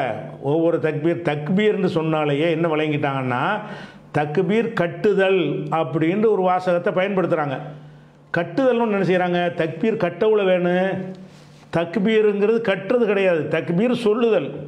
கப்பர என்றால் அல்லாஹ் அக்பர் என்று சொன்னான். தக்பீர் என்று சொன்னால் அல்லாஹ் அக்பர் என்று சொல்லுதல். அந்த சொல்லுக்கு பேர் தான் தக்பீர். நம்ம என்ன செய்யறோம்னா தக்பீர் கட்டுறன்னு சொல்லி ஒரு வார்த்தையை உண்டாக்கிட்டானுவோம் தக்பீர் சொல்லுவதுன்னு சொல்கிறதுக்கு பதிலாக நினைச்சிட்டாங்க தக்பீர் கட்டுவது கட்டுறது கையுடைய வேலை. தக்பீருக்கு என்ன தக்பீருங்கிற சொல்லு. அல்லாஹ் அக்பருங்கிறது தான் தக்பீர். இது ஒரு செயல். இவங்க என்ன செய்கிறாங்கன்னா அந்த செயலே தக்பீர் ஆக்கிவிட்டாங்க இப்படி பாடம் நடத்தினோன்னு தான் ஏழு தக்பீர் தக்பீர் கட்டணும்னு சொல்கிறாங்களா தக்பீர் கட்டணுங்கிறாங்களே வசதி கட்டு வசதி கட்டு. தக்பீர் சொல்லணும்ப்பா அல்லாஹ் அக்பர் சொல்லு. முத தடவை கட்டுறது இருக்குது. அதுக்கப்புறம் ஏழு தடவை தக்பீர் சொல்வார்கள். அல்லாஹ் அக்பர். அல்லாஹ் சும்மா சொல்லிட்டே இரு, கையை கட்டிக்கிட்டு. கையை ஒசத்தவும் வேணாம் அவுக்கவும் வேணாம் கட்டவும் வேணாம். ஏன்னு கேட்டால் அப்படி எந்த ஆதாரமும் இல்லை. அப்படி ஒரு ஆதாரம் இருப்பதாக இந்த உமர் ஷரீஃப் என்பவர் ஒரு நோட்டீஸ் போட்டார். அது பொய்யான நோட்டீஸ் இப்படி அதிசயம் கிடையாது தவறான அதிசயம் போட்டிருக்காருன்னு சொல்லி அதுக்கு நம்ம பதில் கொடுத்துருக்குறோம். அந்த அந்த வீடியோன்னா என்ன செய்வோம்? உங்களுக்கு இதில் ஆர்டிக்கலில் போட்டு விடுவோம். பெருநாள் தொழுகையில் கைகளை உயர்த்த வேண்டுமா? அப்படிங்கிற ஒரு தலைப்பில் ஆர்டிக்கல் இருக்கிறது. அந்த ஆர்டிக்கலை வந்து உங்களுக்கு இன்ஷால்லா முடிஞ்சவொன்னே என்ன செய்வோம்? எடுத்து போட்டு விட்ருவோம் அது மாதிரி ஜனாசா தொழுகையில் அதுக்கு எந்த ஆதாரமும் கிடையாது. ஜனாசா தொழுகை வந்து தக்பீருக்கு கையை உயர்த்தல் ஒரு தக்பீருக்கு தான் கையை உயர்த்துறது. அனைத்து தக்பீருக்கு கையை உயர்த்தன்னு விளங்கி கொண்டு இது செய்கிறாங்க இப்போ சஜிதாவுக்கு போகும்போது தக்பீர் சொல்லுவீங்கல்ல? எல்லா இப்படி அப்படியே செய்கிறீங்க தக்பீர் சொல்லும்போது கையை உயர்த்தணும் அவசியமான தக்பீர் கை உயர்த்து நாலு இடம்தான் முதல் தக்பீர். அப்புறம் ருக்குவிலேருந்து எந்திரிக்கும் போது உள்ள தக்பீர். அப்புறம் வந்து சைதாவுலேருந்து எந்திரிக்கும் போது உள்ள தக்பீர். இதுக்கு தான் கையை தூக்கு கையை தூக்குறது இருக்கே தவிர எதுக்கு கிடையாது? ஒவ்வொரு தக்பீருக்கும் கையை தூய தூக்கணுங்கிறது கிடையாது. இதை விளங்கிட்டு ஜனாசாவில் செய்கிறாங்க ஜனாசாவில் என்ன செய்யணும் அல்லாஹ் அக்பர் தான். அதுக்கப்புறம் அல்லாஹ் அக்பர் அல்லாஹ் அக்பர் அல்லாஹ் அக்பர் அவ்வளோதான் இடையில ஓத வேண்டிய ஒதுக்கிற வேண்டியது. அதனால் ஜனாசாவிலையும் கையை உயர்த்தல் கிடையாது. ஒரு தடவை தவிர ருக்கு செய்தாலும் கிடையாது ஜனாசாவில். மற்றது கிடையாது. இந்த ஆர்டிக்கல் போட்டுக்கணும் பார்த்துக்கிறேங்க எந்த வசனத்தை வச்சு அவங்க எந்த ஹதீஸை வச்சு அந்த வாதம் வைக்கிறாங்க? அது எப்படி அது சரியில்லாத ஹதீஸ் என்பதெல்லாம் அந்த ஆர்டிக்கலில் விளக்கியிருக்கோம். அதுக்கடுத்தது அத்தியாயம் ரெண்டு. இரநூத்தி பத்தொம்போது வசனத்தின் முற்பகுதியை. அதற்கடுத்த வசனத்தின் உள்ள முற்பகுதியை இணைத்து நீங்கள் மொழிபெயர்த்து உள்ளீர்கள். என கேட்குறார். இம்ரான் கோவையிலேருந்து கேட்குறாரு. ரெண்டாவது குரா குரானில் ரெண்டாவது சூரா பக்ரா. இரநூத்தி பத்தொம்போது இரநூத்தி இருபது. நான் என்ன செஞ்சுருக்கேன்னு கேட்டால் இரநூத்தி இருபதில் உள்ள ஒரு பகுதியை இரநூத்தி பத்தொம்போதில் கொண்டு ஜாயிண்ட் பண்ணி மொழிபெயர்த்திருக்கிறேன். அதான் கேட்குறாரு மொழிபெயர்த்திருக்கிறீங்க. ஆனால் மற்றவர்கள் இவ்வாறு செய்யவில்லையே இது ஏன் அப்படின்னு கேட்குறாரு இது வந்து கொஞ்சம் விவரமாக விளங்கிக்கிற வேண்டிய ஒரு விஷயம். குரானை பொறுத்த வரைக்கும் குரானுடைய வசனங்கள் இருக்கு இல்லையா? குரானுடைய வசனங்களில் ஒன்று ரெண்டுன்னு இப்போ நம்பர் போடுறோம். இந்த நம்பர் போடுவது என்பது அல்லாவும் ரசூலும் சொன்னதாண்டா கிடையாது. சில சூறாக்களுக்கு ஏழாயிரத்து முப்பதாயிரத்துன்னு இருக்கிறது ப- ஃபாத்தியா சூறாவுக்கு ஏழு பக்ராவுக்கு முப்பது ஆயத்துன்னு சிலதுக்கு இருக்கிறது அப்படி இருந்தாலும் இதுதான் முத ஆயத்து. இது ரெண்டு இப்போ இது ஆளிகளுக்கு கிதாபுன்னு இருக்குது இதில் வந்து லாரே ஹுதலில் முத்தகின் ஒன்று மிம்மா மிம்மாரத்துக்குனா இன்ஃபிகூன் ரெண்டு. இப்படி ஒன்று ஒன்று நம்பர் போடுறோம்ல. இதுதான் ஒன்றாவது வசனம். இதுதான் ரெண்டாவது வசனம் அப்படின்னு போடுறோம்ல. அப்படி போடுகிற ஒரு முறையை நபிகள் நாயகம் ஸல்லல்லாஹு அலைஹி சொல்லவில்லை. வசனங்கள் இருக்குது. ஒரு வசனத்தை எங்கே முடிக்கிறது என்பதை வந்து நமக்கு சொல்லலை. அதனால் என்ன ஆச்சுன்னு கேட்டால் ஒவ்வொருத்தரும் பலவிதமாக நம்பரை போட்டாங்க. வசனங்களுக்கு போடும் பொழுது அதில் வந்து இப்ப உஸ்மான் அலில்லான்னு தொகுக்கிறாங்க குரானை. தோக்கும் பொழுது நம்ம குரானுடைய பிரதிகளை நீங்கள் பார்த்தீங்கன்னு சொன்னால் ஒவ்வொரு வசனத்துக்கு ஒரு ஒரு ரவுண்டாக போட்டு அது நம்பரை போட்டு வச்சுருப்பாங்க. இப்போ அச்சடிக்கிற சவுதியில் அச்சடிக்கிற குரானாக இருந்தாலும் சரி பாகிஸ்தானில் இந்தியாவில் அடிக்கிற குரானாக இருந்தாலும் சரி அகில உலகத்தில் அடிக்கிற குரானாக இருந்தாலும் சரி ஒவ்வொரு வசனம் முடிஞ்சவுடனே அதுக்குள்ளே நம்பரை போட்டிருப்பாங்க. எட்டு அடுத்து ஒம்பது ஒரு ரவுண்டு போட்டு ஒம்பது போட்டிருப்பாங்க. இந்த நம்பர்கள் எல்லாம் மூலப்பிரதியில் இருக்கான கிடையாது. மூலப்பிரதி இருக்குல்ல.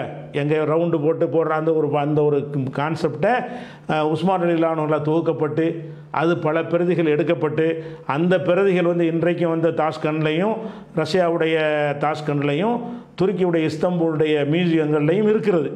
அதை எடுத்து நம்ம பார்த்தோம்னு சொன்னால் அதில் வந்து வசனங்களுக்கு நம்பர் போடலை.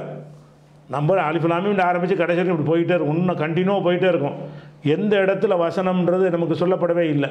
ம இவங்க வசதிக்காக என்ன செஞ்சாங்கன்னா மக்களுக்கு என்ன செஞ்சாங்க? நம்பரை போட்டாங்க. இந்த நம்பரை போடுறது நீங்கள் விளங்கிறதுக்காக வேண்டி புரிஞ்சுக்கிறதுக்காண்டி ஒன்று சொல்கிறேன் பாருங்களேன். இப்போ வந்து இந்த டிஸ்பிளேயில் பாருங்கள் டிஸ்பிளேயில் நாலாவது அத்தியாயம் நூற்றி அறுபத்தி எட்டு ஒரு வசனம். நாலாவது அத்தியாயம் நூற்றி அறுபத்தி ஒம்பது ஒரு வசனம். நல்லா கவனிங்க. இந்த ரெண்டு வசனம் அரபியில் நான் போட்டிருக்கிறேன். நாலாவது அத்தியாயம் நூற்றி அறுபத்தி எட்டு அது ஒரு வசனம். நாலாவது அத்தியாயம் நூற்றி அறுபத்தி ஒம்பது ஒரு வசனம். இதில் என்ன வருதுன்னு கேட்டால் இந்த அதுக்கு அர்த்தம் செய்கிறேன் பாருங்கள் இது நூற்றி அறுபத்தி எட்டு இது நூற்றி அறுபத்தி எட்டு இது நூற்றி அறுபத்தி ஒம்பது. இதில் வலா எகுதியகும் தரிகா அவர்களுக்கு பாதையை வழியை அல்லாஹ் காட்ட மாட்டான். இல்லா தரீக ஜஹன்னம். நரகத்தின் பாதையை தவிர. இந்த நரகத்தின் பாதையை தவிரங்கிறது அங்கே சேர வேண்டியது. அதாவது இது அதுக்கடுத்து வேறு விஷயம் வந்துடுது இந்த இடத்த இந்த வசனத்தை மட்டும் இப்படி மட்டும் சொன்னால் அர்த்தமே வராது. நரகத்தின் பாதையை தவிர. தவிர என்னப்பா? தவிர வழிகாட்ட மாட்டேன்னு அங்கே போயிடுறாங்க. அப்போ அந்த ஆயத்தை வந்து இங்கே முடிக்கிறதுக்கு பதிலாக அங்கே போய் நம்பர் போட்டு வச்சுவிட்டாங்க இங்கே போட்டிருக்கிறாங்க. நாலு நூற்றி இருபத்தெட்டுடைய நம்பர் இங்கே போட்டிருக்கிறாங்க. இந்த இடத்துல போட்டால் தான் கண்டினியூவாகி ஒரு ஒரு ஒரு ஒரு வாக்கியம் கிடைக்கும். அவர்களுக்கு வழிகாட்ட மாட்டான். நரக வழியை தவிர. அப்படின்னா அதை அதை அதாவது நிப்பாட்டிப்புட்டு நரகத்தின் வழியை தவிரன்னு மட்டும் சொல்கிறீங்க ஒரு வசனம் தனியாக சொன்ன அர்த்தம் இருக்கணும்ல. இந்த வசனத்தை மட்டும் ஒருத்தன் சொல்கிறான் எப்படி சொல்கிறான் நரகத்தின் வழியை தவிர. தவிர என்னடா? தவிர. லூசாண்டு கேட்பான். நரகத்தின் வழியை தவிர என்னங்கிற? இங்கே போயிடுறான். நரகத்தின் வழியை தவிர வழிகாட்ட மாட்டான் அப்போ அந்த வழிகாட்ட மாட்டான் என்பதும் நரகத்தின் வழியை தவிர என்பதும் ஒரு சென்டென்ஸ் ஒரு வாக்கியம். ஒரு வாக்கியத்தில் பாதிய ஒரு நம்பராகவும் மறுபாதிய ஒரு நம்பராகவும் போட்டு வச்சுக்கிறாங்க. நம்பர் போட்டவங்க. நாம் அந்த நம்பரில் சேஞ்செல்லாம் பண்ணலை. ஏன்னு கேட்டால் நம்ம எடுத்து வசதியாக இருக்குது நூற்றி அறுபத்தெட்டுன்னு சொல்லும்போது ஆள் ஆளுக்கு நம்பர் மாற்றிட்டு போனால் குழப்பம் ஏற்பட்டுரும். அதனால் அவங்க தவறாக தான் போட்டிருக்கிறாங்க. போட்டாலும் அதில் போய் ஆள் ஆளுக்கு மாற்றினா சரி வரான்னு விட்டுட்டோம். இப்போ நாம மொழிபெயர்ப்பில் என்ன செய்வோம்னு கேட்டால் இந்த நாலு நூற்றி அறுபத்தெட்டு இருக்குல்ல ஒவ்வொரு வசனத்துக்கு மொழிபெயர்த்துட்டு வருவோம். இந்த மாதிரி வசனங்களுக்கு எப்படி மொழிபெயர்த்திருப்போம்? என்னுடைய தமிழாக்கத்தில் நூற்றி அறுபத்தெட்டு கமா நூற்றி அறுபத்தொம்போது போட்டு ரெண்டையும் ஒன்றா இணைச்சி அர்த்தம் செஞ்சுருவோம். ஒரு ஒரு வசனத்துடைய பாதி இங்கிட்டும் பாதி அங்கிட்டும் இருக்குமையானால் நம்ம ஒவ்வொரு வசனத்துக்கும் தனித்தனியாக தான் அர்த்தம் செய்வோம். இந்த வசனத்துக்கு நான் எப்படி அர்த்தம் செஞ்சிருப்பேன்னு கேட்டால் நாலு நூற்றி அறுபத்தி எட்டு கமா நூற்றி அறுபத்தி ஒம்போதுன்னு போட்டு ரெண்டையும் ஒன்றாக்கி அர்த்தத்தை வசனத்தை தனித்தனியாக போட்டுருவேன். அர்த்தத்தை ஒன்றா ஜாயிண்ட் ஆக்கிடுவோம். ஏன் ஜாயிண்ட் ஆக்குறோம்? நம்ம அறிவே சொல்லுது. நரகத்தின் பாதையை தவிர என்பது அங்கே சேர வேண்டியது தான் இதில் வந்து இங்கே இருக்கிறதுல எந்த ஒரு மீனிங்குமே இல்லாமல் போயிடுது அப்படிங்கிறக்கான செய்வோம். இதை மட்டும் தனி நம்பர் போட்டிங்கன்னா அர்த்தம் செய்ய முடியாது. ப்ராக்கெட்டில் இருந்தால் போட்டுக்கிட்டு கோர்த்துக்கிட்டே செய்வாங்க. இதே மாதிரி இன்னொரு நம்பரை பாருங்கள் புரிஞ்சுக்கிறதுக்காக வேண்டிய அப்போ தான் நீங்கள் கேட்ட கேள்விக்கு விளக்கம் சரியாக முழுமையாக கிடைக்கும்.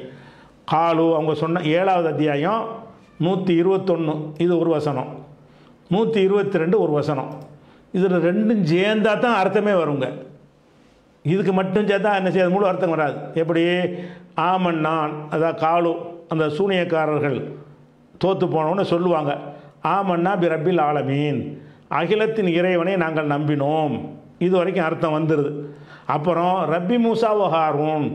மூசாவுக்கும் ஹாரூனுக்கும் இறைவனாகிய இதை மட்டும் சொல்லி பாருங்க. மூசாவுக்கும் ஹாரூனுக்கும் இறைவனா இறைவனை என்னடா? இறைவனாகிய ரப்புல் அங்கே போயிடணும் இப்போ சேர்த்துக்கிட்டு தான் எப்படி செய்யணும் மூசாவுக்கும் ஹாரூனுக்கும் இறைவனாகிய அகிலத்தின் அதிபதியை நாங்கள் நம்பினோம். இரண்டும் சேர்ந்து ஒரு வசனம். இவங்க நம்பர் போட்டு நினைஞ்சிருக்காங்கன்னு கேட்டால் இது மீனிங் இல்லாத வகையில் இது இருபத்தி ரெண்டு போட்டு வச்சுக்கிறாங்க. இது ரெண்டும் சேர்ந்து அல்லாஹ் அந்த நம்பர் அல்லா போடலை. நபிகள் நாயம் போட சொல்லலை. இது எல்லாத்தையும் மொத்தமாக வாச்சு காட்டினாங்க. நீங்கள் தான் பிரிக்கிறீங்க. பிரிக்கலாம். ஒரு அடைய எடுத்து காட்டுறதுக்காக பிரிக்கலாம். அப்படி பிரிக்கிறதா இருந்தால் ஒரு ஒரு அறிவார்ந்த முறையில் பிரிக்கணும்ல அப்படி பிரிக்கலை. அதனால் என்ன செய்கிறோம் இந்த வருஷம் நான் எப்படி செய்வேன்? நான் எப்படி அர்த்தம் செஞ்சுருப்பேன்? மூசாவுக்கும் ஹாரூனுக்கும் இறைவனாகிய அகிலத்தின் இறைவனை நம்பினோம் என்று சொன்னார்கள். நூற்றி இருபத்தொன்று நூற்றி இருபத்தி ரெண்டு ரெண்டையும் ஒன்றாக்கி போட்டு மெர்ஜி பண்ணி விட்ருவோம் மொழியாக்கத்தில். ஆனால் மெர்ஜி பண்ணலைண்டா என்ன ஆகும்? இதுக்கு மட்டும் அர்த்தம் இருக்காது. மூசாவுக்கும் ஹாரூனுக்கும் இறைவன் அப்படின்னா என்ன? என்ன இப்போ மூசாவுக்கு ஆறு ஒரு வசனம்ங்கிற ஒரு மூணு அர்த்தம் இருக்கணும்ல? ஒரு ஆயத்துங்கிறீங்க. ஒரு வசனம்ங்கிறீங்க. அது ஃபுல் அர்த்தம் இருக்கணுமா இல்லையா? இது இல்லை. இன்னொன்று புரிஞ்சுக்க நிறைய இருக்குது நான் மூணு சாம்பிளுக்கு மூணு மட்டும் காட்டுறேன். இன்னொரு விஷயத்தை எடுங்க. பதினொன்றாவது சூறா. நூற்றி பதினொன்றில் தொண்ணூற்றி ஆறாவது வசனம். அதில் என்ன வருது? தொண்ணூற்றி ஆறு இது தொண்ணூற்றி ஏழு இதில் இந்த இந்த சிவப்பு கலராக உள்ள இந்த இது வந்து அங்கே சேர வேண்டியது. அங்கே சேர்ந்தால் தான் அர்த்தம் வரும். ஆனால் என்ன செஞ்சிட்டாங்கன்னா அங்கே சேர வேண்டிய துண்டை இங்கே தூக்கி போட்டுவிட்டு வந்து ரெண்டு வசனமாக ஆக்கி விட்டார்கள். இது இந்த இடத்துல நம்பர் போட்டிருந்தா தான் வசனம் முழுமையாகும். எப்படி வருது? உலகது அரசன்னா மூசா. மூசாவை நம்ம அனுப்பினோம். ஆயாத்தினா. நம்முடைய சான்றுகளோடு அனுப்பினோம். ஒ சுல்தானின் முபீன். தெளிவான சான்றுகளோடு அனுப்பினோம். ஈலா ஃபிரௌன் ஃபிரௌனிடம் ஓ மலை அவன் கூட்டத்தாரிடம்ன்றது. இதில் ஃபிரௌனிடம் கூட்டத்தார் அனுப்பினோம் இந்த இலா ஃபிரௌனுங்கிறது இங்கே சேர வேண்டியது. ஃபிரௌனிடம் மூசாவை அனுப்பினோம்னு இருக்குது அனுப்பினோம்னு அங்கே போட்டுட்டு மூசாவிடம் ஃபிரௌனிடம் இங்கே போட்டுட்டாங்க. ஃபிரௌனிடம் என்னப்பா? ஃபிரௌனிடம். அர்த்தம் சொல்லு ஃபிரௌனிடம் என்ன? ஒரு அர்த்தம் இல்லை. ஃபிரௌனிடம் அனுப்பினோம் அங்கே தான் போக வேண்டியிருக்கு.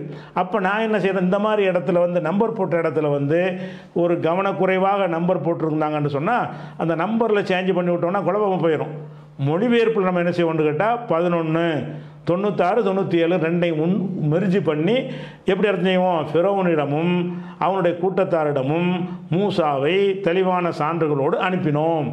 இப்போ அழகாக ஒரு ஒரு ஒரு வாக்கியத்துறை அர்த்தம் வந்துடுது அப்போ இந்த மாதிரி செய்யணுங்கிற அடிப்படையில் தான் நம்ம என்ன செய்வோம்னு கேட்டால் சில வசனங்களை இரநூத்தி பத்தொம்போது கேட்குறீங்க பக்கராவில் கேட்குறீங்க. இரநூத்தி பத்தொம்போதில் கேட்குறீங்கல்ல. அந்த இரநூத்தி பத்தொம்போதில் இரநூத்தி இருபது அதில் என்ன விஷயம் வருதுன்னு கேட்டால் இப்போ அதை காட்டுற பாருங்கள் நீங்கள் கேட்ட வசனம் இதுதான் இதுதான் வசனம். இது இரநூத்தி பத்தொம்போது மேலே உள்ளது. இந்த கீழே உள்ளது சிவப்பு கலரில் இருந்து ஆரம்பிக்குதுல இது வந்து இரநூத்தி இருபது.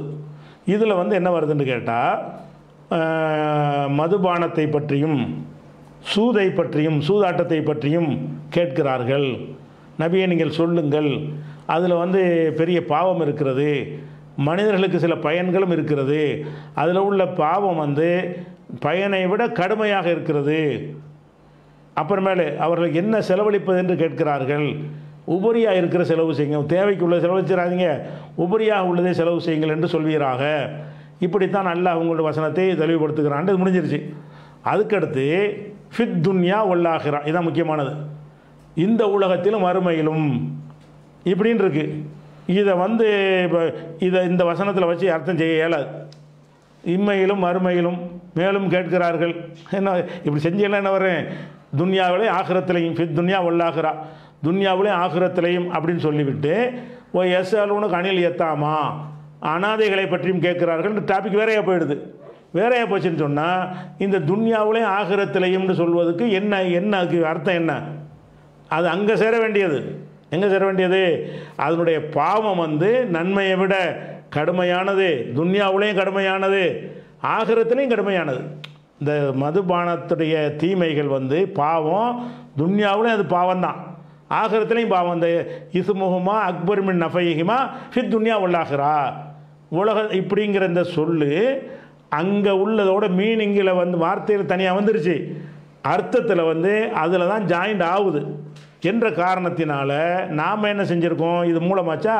என்னுடைய மொழிபெயர்ப்பை காட்டுறேன் பாருங்கள் நான் எப்படி மொழிபெயர்த்துருக்கேன்னு கேட்டால் அடுத்தவங்க மொழிபெயர்ப்பு காட்டுற தமாசா இருக்கு ஒவ்வொரு மொழிபெயர்ப்பு எடுத்து காட்டுறேன். முதல்ல என்னுடைய மொழிபெயர்ப்பு காட்டிவிடுறேன்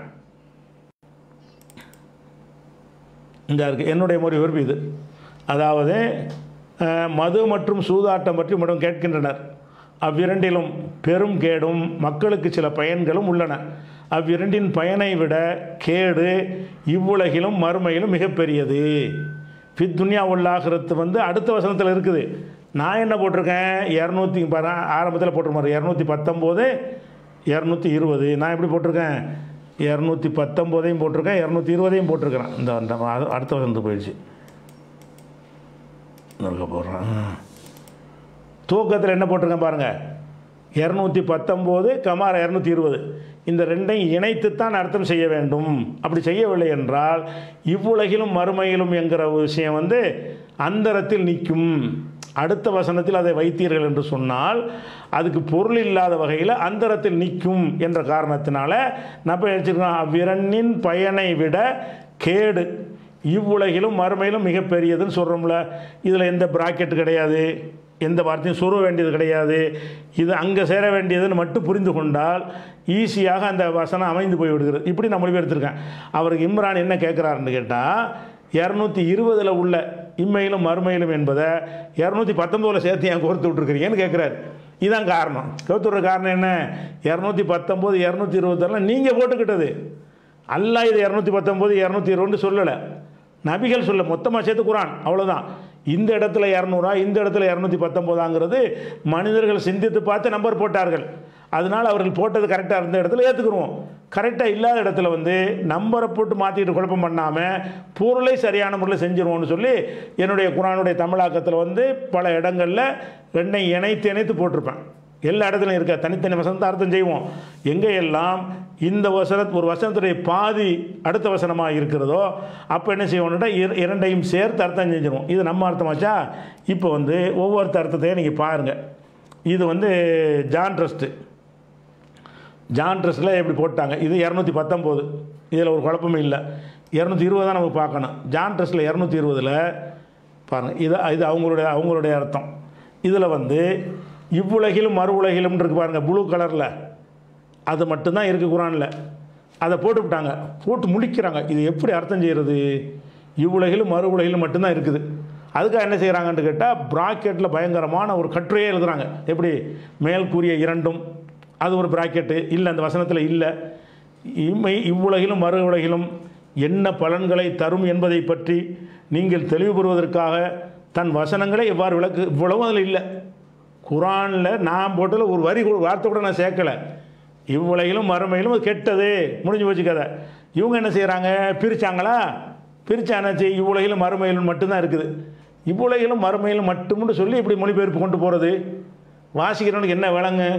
விளங்கான்னு சொல்லிட்டு இவங்க என்ன செய்கிறாங்க ரெண்டு வ ரெண்டு சொல்லு தான் அதில் இருக்கிறது. இவங்க எத்தனை சொல்கிறாங்க மேல் கூறிய இரண்டும் என்ன பலன்களை தரும் என்பதை பற்றி நீங்கள் தெளிவு பெறுவதற்காக தன் வசனங்களை அவ்வாறு விள இருபது வார்த்தை. ரெண்டு சொல் இருக்குது. இருபது சொல்ல சொருகிறாங்க உள்ளக. இல்லாத ஒன்றை. இது என்னத்துக்கு தேவை? ஒழுங்காக இது அங்கே அங்கே சேர்த்து விட்டினா அர்த்தம் சரியாக வந்துட போகுது. அப்போ ஏன் சேர்த்துருக்கோம்னு கேட்டால் உங்கள் உங்கள் அறிவே சொல்லுது இது இங்கே இதுக்கு உள்ளது இல்லைன்னு வழங்குது இந்த மொழிபெயர்த்த ஆளுகளுக்கே தெரிகிறது இந்த இவ்வுலகிலும் மறு உலகிலும் என்பது வந்து இரநூத்தி இருபதுக்கு உரியது அல்ல. இரநூத்தி பத்தொம்போது தான் தொடர்பு கொள்ள வேண்டி இருக்கிறது. அதனால் என்ன பண்ணுறீங்க இந்த வசனத்துக்கு உரியது இல்லைன்னு தெரிஞ்சுக்கிட்டு நீங்கள் அர்த்தம்னு ஒன்று கேட்பானே இவ்வுலகிலும் மறுமையில் மட்டும் போட்டிங்கன்னு வைங்க. என்னைய அர்த்தம் மறுமைன்னா என்ன? அப்படி கேட்பான் கேள்வி கேட்பான். அவன்கிட்ட தப்பிச்சுக்கிறதுக்காக என்ன செய்கிறீங்கன்னா இம்பூட்டு கல்ல வேலை பார்க்குறீங்க? எதுக்கு தேவை? இது ஜான் ட்ரஸ்டாச்சா அதுக்கு அடுத்தது வந்து ஐஎஃப்டி ஐஎஃப்டிக்காரங்க என்ன செய்கிறாங்க இரநூத்தி பத்தொம்போது. அது விட்டுருங்க. இருபதுலான பிரச்சனை. இரநூத்தி இருபது அவங்க என்ன செய்கிறாங்கன்ட்டு கேட்டால் இந்த இருக்குது அவங்க போட்ட அர்த்தம். அந்த இம்மை மறுமை ரெண்டு போட்டிருக்குல்ல ரெண்டு தான் அங்கே இருக்குது. இவங்க என்ன செய்கிறாங்க நீங்கள் ஒன்று சேர்க்குறாங்க. நீங்கள் நாங்கள் இல்லை. மறுமை பற்றி கருத்தூன்றி கருத்து இதெல்லாம் சேர்க்குறாங்க. அது பிராக்கெட்டில் கூட சேர்க்கல. அப்படி குரானில் இருக்கிற மாதிரி சேர்க்குறாங்க. எப்படி சேர்க்குறாங்க? இம்மை மறுமை பற்றி கருத்தூன்றி சிந்திக்க வேண்டும் என்பதற்காக. என்னடா இருக்கிறது இம்மை மறுமைன்னு இருக்குது. இதை போய் அங்கே ஜாயின் பண்ண பஞ்சாயத்து தீர்ந்து போச்சு. இம்மை மறுமையில் கெட்டது. சூதும் இம்மையிலே மறுமையில் பாவம். சூதாட்டமும் மதுபானமும் இம்மையிலும் பாவம் மறுமையிலும் பாவம் இதை கூட எங்கள் கோத்து விட்டோம்னு சொன்னால் நீங்கள் எந்த பிராக்கெட்டும் போட வேணாம். நீங்கள் என்ன பண்ணுறீங்க இரநூத்தி இருபது அறுபத்தஞ்சு எடுக்கிறீங்க. தித் துன்யா உள்ளாகிறா. இம்மையிலே மறுமையிலே மறுமையிலையும் என்னத்தை பண்ணுறது கருத்தூன்றி சிந்தியுங்கள் என்ன சேர்த்து விட்றது இம்மை மறுமை பற்றி கருத்தூண்டி சிந்திக்க வேண்டும் என்பதற்காக இப்படின்னு ஜமாத் இஸ்லாமி ஐஎஃப்டி இருக்குல்ல அவங்க தமிழாக்க என்னத்துக்கு இந்த வேலை செய்கிறீங்க இம்மை மறுமை எங்கே சேர்ந்தது? இதை சேர்ந்தது இல்லைன்னு உங்களுக்கு தெரியுதுல்ல தெரிய போய் தானே என்னத்தையாவது போட்டு சொருவிக்கிறீ ஒரு அர்த்தம் வர்ற மாதிரி ஆக்குறீங்க. சொருவாமே வருமே அப்படிங்கிறத சிந்திக்கணும். அடுத்து என்னன்னு கேட்டால் இப்போ அப்துல் ஹமீத் பாக்கவி அவர் என்ன செய்கிறாரு அவர் அவர் எல்லாரும் பண்ணுறாரு இவர் விசித்திரமான ஒரு விளையாட்டு பண்ணுறாரு என்ன பண்ணுறாரு இரநூத்தி பத்தொம்போதை போட்டார். இரநூத்தி பத்தொம்போதை போட்டுட்டு இந்த நீங்கள் போட்டிருக்கல ப்ளூ கலரில் இந்த ப்ளூ கலரில் உள்ளது எல்லாமே வந்து இருபதில் உள்ளது. இது பத்தொம்போது அவர் அர்த்தம் பத்தொம்போதுக்கு செய்கிறாரு. பத்தொம்போதுக்கு செய்யும்போது என்ன செய்கிறாருன்னு கேட்டால் ஃபித்துன்யா உள்ளாகிறாங்கிற சொல்லு வந்து இம்மை மறுமைன்னு இந்த போடுறதுல இது வந்து இரநூத்தி பத்தொம்போதில் இல்லை. இவர் மட்டும் யோசிக்கிறாரு இது வந்து அங்கே சேராது இங்கே தானே சேரணும் அப்படின்னு சொல்லி அர்த்தத்தை மட்டும் இங்கே சேர்த்து விட்டா அந்த வசனத்தில் இல்லை. இவர் என்ன செய்கிறார் நீங்கள் இம்மை மறுமையின் நன்மைகளை கவனத்தில் வைத்துக் கொள்வதற்காக அல்லாஹ் உங்களுக்கு தன்னுடைய வசனங்களை இவ்வாறு விவரிக்கிறான். இவ்வளோ விஷயங்களை தேக்கிறாங்க. வழங்குதா? அதே நேரத்தில் இரநூத்தி இருபதில் தான் பித்துன்யா இருக்குது. அந்த இரநூத்தி இருபதில் அதை போட கட்- போட போட போட மாட்டேங்கிறாங்க. இரநூத்தி இருபதில் இல்லை. உலகத்திலையும் மறுமையிலுங்கிறது இரநூத்தி இருபதில் தான் இருக்குது. இருபதில் உள்ளதை பிடுங்கி அந்த ம- இம்மை மறுமையை கொண்டு போய் பத்தொம்பதில் சேர்க்குறாங்க. ஏன் சேர்க்குறாங்கன்னு கேட்டால் இருபதில் இருந்தால் அது வந்து பொருந்தலை. இருபது அவங்க ஆக்கியிருக்க கூடாது. அதான அர்த்தம். எல்லோரும் மனசில் ஒத்துக்கிறாங்க. இந்த இவ்வுலகிலும் மறுமையிலும்ன்றது இருபதாம் நம்பர் கொடுத்து தப்பு. கொடுத்தால் நம்ம தான் என்ன தேவை போட்டுக்கிட்டு என்ன செய்ய வேண்டியிருக்கு? கையில் மடியில் போட்டு அதை வாக்கியத்தை உண்டாக்க வேண்டியிருக்குது. விளங்குறீங்கல்ல ஏன் கையில் மடியில் போடுறீங்கன்னா? அல்லா நம்பர் அல்லா போடலை. ரெண்டும் சேர்ந்து கோர்வையாக ஒரு கருத்தை சொல்லுது. சேர்த்து விடுங்க. அப்போ நம்ம நம்ம அர்த்தம் திருப்பி இருக்கா பாருங்கள் நம்ம அர்த்தம் என்ன இருக்குது? இப்படி போட்டிருக்கேன் பாருங்கள் இரநூத்தி பத்தொம்போது இரநூத்தி இருபது. மது மற்றும் சூதாட்டம் பற்றி உம்மிடம் கேட்கின்றனர். அவ்விரண்டும் அவ்விரண்டிலும் பெரும் கேடும் மக்களுக்கு சில பயன்களும் உள்ளன. அவ்விரண்டின் பயனை விட கேடு இவ்வுலகில் அந்த துன்யா உள்ளாகிறார் இவ்வுலகிலும் மறுகுலையிலும் மிகப்பெரியது இப்போ இதுதான் கரெக்டாக எதனால் செய்கிறோம்னு கேட்டால் இந்த வசன நம்பர் அல்லாவே போட்டிருந்தான்னு வைங்க. அல்லா போட்டு தான் இங்கே உண்டு அங்கே சொல்லணும்னு கேட்கலாம். அல்லா இந்த வந்த வசனத்து நம்பர் அல்லா கொடுக்கல. அதனால தான் நெஞ்சிருக்கு செஞ்சுருக்கு செஞ்சிருக்கு விளங்கிக்கிறங்க வழங்குதா அந்த குரானின் வசன எண் வசனங்களின் எண்கள் அப்படின்னு ஒரு ஆர்டிக்கலை நம்ம இதில் இருக்குது குரானுடைய தமிழாக்கத்தில் இருக்குது. இந்த வசனங்கள் எண்கள் எப்படி போட்டாங்க? ஒவ்வொருத்தரும் பல எண்கள் சொல்வதற்கு காரணம் என்ன என்பதை தனி ஆர்டிக்கலாகவே இருக்கிறது வேணும்னா அதையும் எடுத்து போட்டு விட்றோம் அந்த டெக்ஸ்ட்டையும் என்ன செய்வோம்? நம்ம முகநூலில் போட்டு விட்ருவோம் எப்படி? வசனங்களின் எண்கள் அப்படின்னு தலைப்பில் ஆர்டிக்கல் இருக்குது அது குரான் தமிழாக்கம் வச்சுக்கிறவங்க அதில் படிச்சுக்கிறங்க. வச்சுக்கிறாதவங்க அந்த ஆர்டிக்கலை படிச்சிங்கன்னா ஓ நம்பர் போட்டதில் இப்படி இவ்வளோ விஷயம் இருக்குதா என்று அறிந்து கொள்வீர்கள். சரியா? அது முடிஞ்சிச்சு அவ்வளோதான் அடுத்தது அடுத்த கேள்வி போமா டிஸ்பிளே வேண்டியதில்லை. ம்.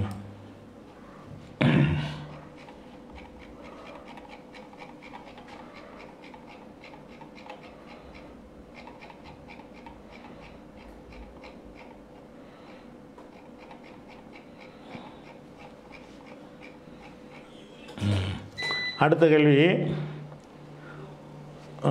நாசிர் கனி பந்தய நோக்கத்தில் புறாக்களை பறக்க விடுவது இஸ்லாத்தில் ஆகுமா? ஸ்ரீலங்காவிலும் கேட்குறார். நாசிர் கனி ஸ்ரீலங்கா. அதாவது புறா பந்தய புறா வச்சுருக்காங்கல்ல. பந்தயத்தில் என்ன செய்வாங்கன்னா புறாக்களை யார் புறா வந்து சீக்கிரம் போயிட்டு வருதுங்கிறதுக்காக வேண்டி எத்தனை கிலோமீட்டர் போகுது போயிட்டு எவ்வளோ நாளைக்கு திரும்பி வருது போன இலக்கை கரெக்டாக அடைஞ்சிருச்சா என்பதற்காக வேண்டி என்ன செய்கிறாங்கன்னா பந்தய புறாக்கள் வச்சுருக்காங்க. புறாவுக்கு மட்டும் அந்த ஒரு தன்மையை இறைவன் கொடுத்துருக்குறான். அந்த ஒரு விஷயத்துக்கு பயன் அந்த காலத்தில் தகவல் தொடர்புக்கெல்லாம் தபாலுக்கெல்லாம் இதான் பயன்படுத்துவாங்க. புறாக்கள் வழியாக தான் என்ன செய்வாங்க? மன்னர்களுக்கு மன்னர்கள் தபால் தொடர்புலாம் அதன் வழியாக தான் போய்க்கிறோம் ட்ரைனிங் கொடுத்தா அது செய்யும். அது ஒரு விஷயம். இப்போ இந்த பந்தய நோக்கத்தில் புறாக் புறாக்களை பறக்க விடுதல் ஆகுமா என்பதில் வந்து ரெண்டு மூணு விஷயம் அதில் அடங்கியிருக்குது அறிந்து கொள்ள வேண்டிய ரெண்டு மூணு விஷயம். முதலாவதாக புறாக்கள் அதுக்குன்னு இயற்கையான ஒரு வாழ்க்கை முறையில் இருக்கிறது. நம்ம என்ன செய்கிறோம்னு கேட்டால் நம்ம மனிதனுக்கு தகுந்த மாதிரி இந்த புறாக்களை வந்து பயிற்றுவிக்கிறோம் பழக்கிறோம். பழக்கி அதனுடைய அதனுடைய தன்மையை மாற்றி அதனுடைய வேலை இதுவாக தபால் கொடுக்குற வேலை அதனுடைய வேலை இல்லை. அது பாட்டு ஜாலியாக சுற்றிட்டு அப்படி எல்லாமே எல்லாமே எல்லா பறவைகளை போலையும் போயிடும் அதை கொண்டு நம்ம என்ன செய்கிறோம்னு கேட்டால் அதுக்கு ஒரு ட்ரைனிங் கொடுத்து பயிற்சி கொடுத்து அந்த நம்ம சொல்கிற த தகவலை கொண்டு போய் கரெக்டாக கொடுத்து விட்டு திருப்பி கரெக்டாக வந்துடுறது என்பதற்காக வேண்டி நம்ம ஒரு பயிற்சி கொடுக்குறோம். அப்போ ஒரு வாயில்லா ஜீவனுக்கு வந்து இந்த மாதிரி ஒரு பயிற்சி கொடுக்குறது சரியா? முதல் பந்தய புறாவே சரியான்னு பார்க்கணும்ல. அது சரியான்னு கேட்டீங்கன்னா அது சரிதான். ஏன்னு கேட்டால் நாய்கள் இருக்குது வள்ளூர்கள் இருக்குது ராஜாளி பறவை இருக்குது இவைகள் எல்லாம் வந்து அவைகள் இயல்பாக வாழ்வதற்கு படைக்கப்பட்ட பறவைகள் தானே. இவைகளுக்கு நம்ம பயிற்சியை கொடுத்து வேட்டையாடுவதற்கு பயன்படுத்தலாம்னு நல்லா குரானில் சொல்கிறான் இப்போ நாய் இருக்குல்ல நாயை சுயமாக விட்டுற வேண்டியது தானே? நாய் என்ன செய்யும் அதனுடைய அதனுடைய இயற்கைத்தன்மைக்கு மாற்றமாக ஒரு முயலை வேட்டையாடுறதுக்கு அந்த நாயை அனுப்பிவிட்டோம் என்று சொன்னால் அந்த முயல் அப்படி கவி பல்லு கூட உள்ளே இறங்காமல் அப்படியே புடியோடு கொண்டு வந்து எஜமான்ட்ட கொடுத்துரும். அறுத்து உசுறு உசுரே இருக்கும். பல்லு படாது பல்லு உள்ளே இறக்காது. தான் திம்பதற்கு கடிக்காது அது. ஏன்னு அதனுடைய இயல்பு கடிப்பது தானே. அது அந்த தன்மையை மாற்றி கொண்டு என்ன செய்யும்னு கேட்டால் இந்த எஜமான் நமக்கு உணவு அளிப்பான் அப்படிங்கிற காரணத்தினால பிடிச்சி கொண்டாந்து பிடிச்சி கொண்டாந்து இவன்ட்ட கொடுக்குறது. இது என்ன பயிற்சி தானே? அஞ்சாவது அத்தியாயத்தில் குரானில் நாலாவது வசனத்தில் அல்லம் மினல் ஜவாரிஹி முக்கல்லிபீன அல்லிமூன உன்ன மிம்ம அல்லமுக்குமுல்லா அல்லாஹ் உங்களுக்கு கற்றுத்தந்தவாறு நீங்கள் வேட்டையாடும் பிராணிகளுக்கு பயிற்சி அளித்து அவை வேட்டையாடி கொண்டு வந்ததை நீங்கள் சாப்பிடலாம். அப்படின்னு சொல்லும் பொழுது அல்லாஹ் இதை சொல்லி காட்டுறான். அப்போ பயிற்சி அளிக்கிறது கூடும்னு விளங்கிக்கிறணும் நாயுடைய தன்மை என்னவாக இருந்துட்டு போகுது. அது எனக்கு ஏற்றவாறு பயிற்சி கொடுக்கலாமான்னா கொடுக்கலாம். அது ஒன்றும் தப்பு கிடையாது அது மிருக வதையில் வராது. அதே மாதிரி வந்து இந்த க பறவைகள் இருக்கிற சில பறவை ராஜாளி வள்ளூர்லாம் அதெல்லாம் போய் கரெக்டாக போய் என்ன செய்யணும் புறாவை சின்ன சின்ன பிராணி பயிரில் அப்படி கழிப்பூசலோடு கொண்டு வந்தோம் பிடிச்சிட்டு வந்தோம். அது திங்காது. அப்படியான பயிர் இது அஞ்சு நாளில் இருக்குது அதே மாதிரி சுலைமான் நபி காலத்தில் வந்து அந்த ஹுது என்கிற ஒரு பறவை அங்கேருந்து சு இன்னொரு நாட்டுக்கு போய் அங்கே உள்ள தகவலை திரட்டிக்கிட்டு வந்து ஒரு கடிதத்தை கொண்டு வந்து சுலைமான விட்ட போடும். அப்போ அங்கே அவங்க அவங்க கொடுத்த தகவலை எடுத்து கொண்டாந்து போடுது. அதை வந்து இந்த உளவுத்துறை தகவல் பரிமாற்றத்துக்கு பயன்படுத்தினாங்க. என்பது புக திரு குரானில் வந்து இருபத்தி ஏழாவது அத்தியாயத்தில் இருபது இருபத்தொன்று இருபத்தி ரெண்டில் இருக்கிறது அதனால் பயிற்சிக்கலாம் அது ஒரு தனி. அப்புறம் வந்து பந்தய புறாவில் வந்து இப்போ பழக்க விடலாமான்னு கேட்டால் பந்தயங்கிறது ரெண்டு வகை இருக்குது. பந்தயம்னு சொன்னால் போட்டி. என்ன போட்டி? ஏன் புறா முதல்ல வருதா ஓம் புறா முதல்ல வருதுன்னு சொன்னால் ஏன் புறா ஜெயித்து விட்டதென்றால் அதற்கு ஒரு லட்ச ரூபா பரிசு. ரெண்டாவது இடத்துக்கு வர்ற புறாவுக்கு வந்து ஐம்பதனாயிரம் ரூபா பரிசு. மூன்றாவது இடத்துக்கு வர இருபத்தையாயிரம் ரூபா பரிசுன்னு கொடுக்குறோம்ல இதுக்கு பேர் போட்டி. இந்த போட்டிக்காக வேண்டி உட்- கொடுத்து அதுக்கு பரிசு வாங்கி கொள்ள கூடுமாட்டா அது கூடும். ஏன்னு கேட்டால் நம்ம புறாவுக்காக பணம் கட்டி சூதாட்டத்தில் நம்ம ஈடுபடலை. ஏன் புறா நல்லா போதா ஓம் புறா நல்லா போதான்னு காட்டுவதற்கு தான் என்ன செய்கிறோம் அந்த புறாக்களை பறக்க விடுறோம். அப்போ ஜெயிச்ச புறாக்களுக்கு ஒரு- வீரன் ஜெயிச்சிட்டா பரிசு கொடுக்குறோம்ல. ரெண்டு பேர் மல்யுத்தம் பண்ணுறாங்க மல்யுத்தத்தில் ஜெயிச்சவனுக்கு நம்ம என்ன செய்கிறோம் ஒரு தங்க பதக்கத்தை கொடுக்குறோம். இப்படி கொடுக்கலாமான்னு கேட்டால் தாராளமாக கொடுக்கலாம். ஊக்குவிப்பதற்காக வேண்டி யார் ஜெயிக்கிறார்களோ அவங்களுக்கு ஒரு பரிசு கொடுப்பது என்பதில் இந்த மார்க் ரீதியாக அதில் எந்த ஒரு தடையும் கிடையாது. நபிகள் நாயகம் இந்த மாதிரி நினைஞ்சிருக்காங்க குதிரைகளுக்கு மத்தியில் பந்தயம் வச்சுருக்காங்க. எது முத போகுது எது ரெண்டாவது போகுதுன்னு இலக்கு வச்சு செஞ்சுருக்கிறாங்க. அதே நேரத்தில் பந்தயம்னு என்ன தெரியுமா? ஒரு புறாவை பறக்க விடுறது பறக்க விட்டுவிட்டு இந்த புறா தான்டா ஃபஸ்ட்டு மார்க் வாங்க எவ்வளோடா பந்தயம் கட்டுறேன்னு கேட்குறது இவன் நூறுரூவாய் போடுறது. அவன் நூறுரூவாய் போடுறது. இவன் ஆயிரம் ரூபாய் போடுறது. இவன் ஆயிரம் இதான் ஜெயிக்கும் இதான் ஜெயிக்கும். இப்படி குதிரையில் கட்டுறாங்கல்ல. அப்போ அந்த புறாவுக்கு உரியவனுக்கு பரிசு கொடுத்தால் அது பரிசு. ரெண்டு பேர் பணம் போட்டு இந்த மாதிரி வந்து ஜெயித்தவன் எடுத்துக்கொண்டு தோத்தவனுடைய த- சந்தியில் விடுறது இருக்குல்ல. அதான் சூதாட்டம்ங்கிறது சூதாட்டம்னா என்ன? இருவர் பணம் போடுவது. பணம் போட்டுவிட்டு அதில் எவன் வந்து அந்த அந்த இதில் ஜெயிக்கிறானோ அவன் ரெண்டு பேர் பணத்தையும் எடுத்துக்கிடுவான் பாதிக்கப்பட்டவன் ரொம்ப நொந்து போயிடுவான். இதில் பாதிக்கப்பட்டவனே கிடையாது. பூரா ஃபஸ்ட்டு வர்றது ஒரு லட்சம் ஒதுக்கி வச்சுட்டாங்க ஏற்கனவே திரட்டி வச்சுட்டாங்க. இந்த வச்சுக்க. இதில் என்ன விஷயம்? இவன் எனக்கு தான் வரணும் அவன் உனக்கு தான் ரெண்டு பேரும் நினைக்கிறானுவோ. பந்தயம் கட்டிவிட்டு இந்த புறா தான் ஜெயிக்கும் பத்தாயிரம் ரூபா பந்தயம். அந்த புறா தான் ஜெயிக்கும் பத்தாயிரம் ரூபா பந்தயம். பத்தாயிரம் ரூபாய் கொடுத்துப்புட்டு இந்த பத்தாயிரம் எனக்கு தான் வரணும் இவன் நினைக்கிறான். அந்த பத்தாயிரம் சேர்ந்து எனக்கு வந்து இவன் நினைக்கிறான். இப்படி நினைக்க வைத்து ஒருத்தன் எடுத்துக்கொண்டு ஒருத்தன் ஏமாறுவதற்கு பார்த்தீங்களா இதுதான் சூதாட்டம். சீட்டில் வர்றதா சூதாட்டம் கிடையாது. எதை வேணாலும் சூதாட்டம் ஆக்கலாம். ஓட்டப்பந்தயத்தை சூதாட்டமாக்கலாம். கபடியை சூதாட்டமாக்கலாம். கிரிக்கெட்டை சூதாட்டமாக்கலாம். கிரிக்கெட் சூதாட்டம்லாம் போடுறாங்கல்ல. கிரிக்கெட்டை போய் பார்க்குறீங்க அது ஒரு விஷயம். கிரிக்கெட்டையே சூதாட்டமாக்கி என்ன செய்கிறதுன்னு கேட்டால் எவன் ஜெயிப்பான்னு பந்தயம் கட்டுவாங்க. அவன் வந்து பெரிய பந்தயம் வந்துருச்சுன்னு வைங்களேன். ஒரு அணிக்கு தலைவர்கிட்ட பேசி நீ தோற்று போயிரு. நீ தான் தோப்ப நான் பந்தயம் கட்டியிருக்கிறேன். என்று சொல்லி தோக்க வச்சுட்டு இந்த பணத்தை பணம் அழிக்கிறாங்க. இதெல்லாம் வந்து பந்தயம்ங்கிறது. பந்தயம் என்று சொன்னால் இருவர்கிட்ட இருவரோ எவருக்கு மேலேயோ. பல பேர்கிட்ட பணத்தை வாங்கி எது ஜெயிக்கிறதோ அவன் எடுத்துக்கொண்டு மற்றவனை தெருவில் விடுறது. அப்படிங்கிறது லாட்ரி. இதுகள்லாம் வந்து பந்தயம். அப்போ புறாக்களை வந்து நீங்கள் ப போட்டிக்காக புறாக்களை பயிற்றுவிப்பது கூடும். அதில் உள்ள அதுக்கு பரிசு கொடுப்பது கூடும். அது மார்க்கு தடையில்லை. நீங்கள் பந்தயம்ன்ற என்ன இடத்துல போட்டிங்கன்னு தெரியல. பந்தயம்னு சொல்லி இது ஜெயிக்குமா அது ஜெயிக்குமா என்று இருந்து அதற்காக அது சம்மந்தமில்லாத ரெண்டு பேர் பணம் கட்டிக்கிட்டான்னு வைங்க. அப்படி கட்டி கொண்டு விளையாண்டார்களே ஆனால் அது என்ன வாயிறேன் அது சூதில் இருந்துடும் கூடாது. சூதாட்டம் கூடாது. ஏற்கனவே ஒரு வசனம் ஆட்சி காட்டினோம்ல ரெண்டு இரநூத்தி பத்தொம்போதில் ம மதுவும் சூதாட்டமும் கேடு. நல்லது மாதிரி தெரிஞ்சாலும் நல்லது இல்லை இருக்குது அடுத்ததாக மஹபூபுங்கிறவர் கேட்குறாரு அதாவது சவுதி அரேபியாவிலிருந்து மஹபூப் பாஷா. என்னுடைய கேள்வி மூத்தை இறந்தவரை குளிப்பாட்டும் போது மூத்துன்னு போட்டிருக்காரு நான் புரியுது மாற்றிக்கிட்டேன் இறந்தவரை குளிப்பாட்டும் போது மூன்று பொருள்கள் குளிப்பாட்டுகிறார்கள். இதற்கு என்ன காரணம்னு கேட்குறாரு இறந்தவரை குளிப்பாட்டுவதற்கு வந்து நபிகள் நாயகம் சல்லாலே என்ன செய்கிறாங்கன்னா சில வழிமுறைகளை சொல்கிறாங்க அவங்க மக இறந்துடுறாங்க. நபிகள் நாயகத்துடைய மகள் இறந்துடுறாங்க. இறந்தவொன்னு என்ன செய்கிறாங்க நபிகள் நாயகம் சொல்கிறாங்க புகாரியில் ஆயிரத்தி இரநூத்தி ஐம்பது நிறைய இடங்களில் வருது. ஒரு நம்பர் ஆயிரத்தி இரநூத்தி ஐம்பத்தி நாலு. அப்போ ரசூல்லா வந்து என்ன செய்கிறாங்கன்னு கேட்டால் மூன்று முறை கழுவுங்கள். தண்ணி வந்து மூணு தடவை ஊற்றுங்க இல்லைன்னா அஞ்சு தடவை ஊற்றுங்க அல்லது அதை விட ஜாஸ்தியாக ஒத்தப்படையில் மூணு அஞ்சு ஏழு தண்ணி ஊற்றி க- அந்த மகளை குளிப்பாட்டும் பொழுது மூன்று முறை தண்ணி ஊற்றி குளிப்பாட்டுங்கள். அல்லது அஞ்சு முறை ஊற்றி குளிப்பாட்டுங்கள். அல்ல அதை விட அதிகமாக உங்களுக்கு குளிப்பாட்டுங்கள் சொல்லிவிட்டு எப்படி சொல்கிறாங்கன்னு கேட்டால் பிமாயின் தண்ணீரை கொண்டும் ஒ சிதிரின். சிதிருண்டா இழந்த இலை. சிதிருண்டா என்னது? இழந்த இலை. இழந்த பழம்னு சொல்கிறோம்ல அங்கே உள்ள இழந்த வேறையாக இருக்கும்னு நினைக்கிறான். இழந்த இலை. அப்போ இழந்த இலையை தண்ணீரில் கலந்து அந்த தண்ணீரை கொண்டு குளிப்பாட்ட சொல்கிறாங்க தண்ணீர் ப்ளஸ் இழந்த இலை. இப்போ இழந்த இலைன்னா என்ன? நம்ம காலத்தில் இழந்த இலை இங்கே கிடைக்க வாய்ப்பு இல்லை நம்ம நாட்டில் வேப்பிலையை போடுவாங்க. அந்த கிருமி நாசினி மாதிரி உள்ள நோக்கத்துக்கு சொல்லியிருப்பாங்கன்னு நினைக்கிறேன். ஆனால் இழந்த இலையை போட்டு கழுவு குழுவாட சொல்லிக்கிறாங்க சொல்லிவிட்டு இறுதியாக கடைசி தண்ணி ஊற்றுவீங்கல்ல அப்போ என்ன செய்யுங்கன்னா ஒஜால்னா பில் ஆகிறத்தி காஃபூரன். காஃபூர்னா கற்பூரம். கடைசி தடவை கழுவும் பொழுது காஃபூரை சேர்த்துக்கிறங்க கற்பூரத்தை சேர்த்துக்கிறங்க அந்த கற்பூரம் ஈ முக்கிறது அது அதெல்லாம் தடுக்கும்.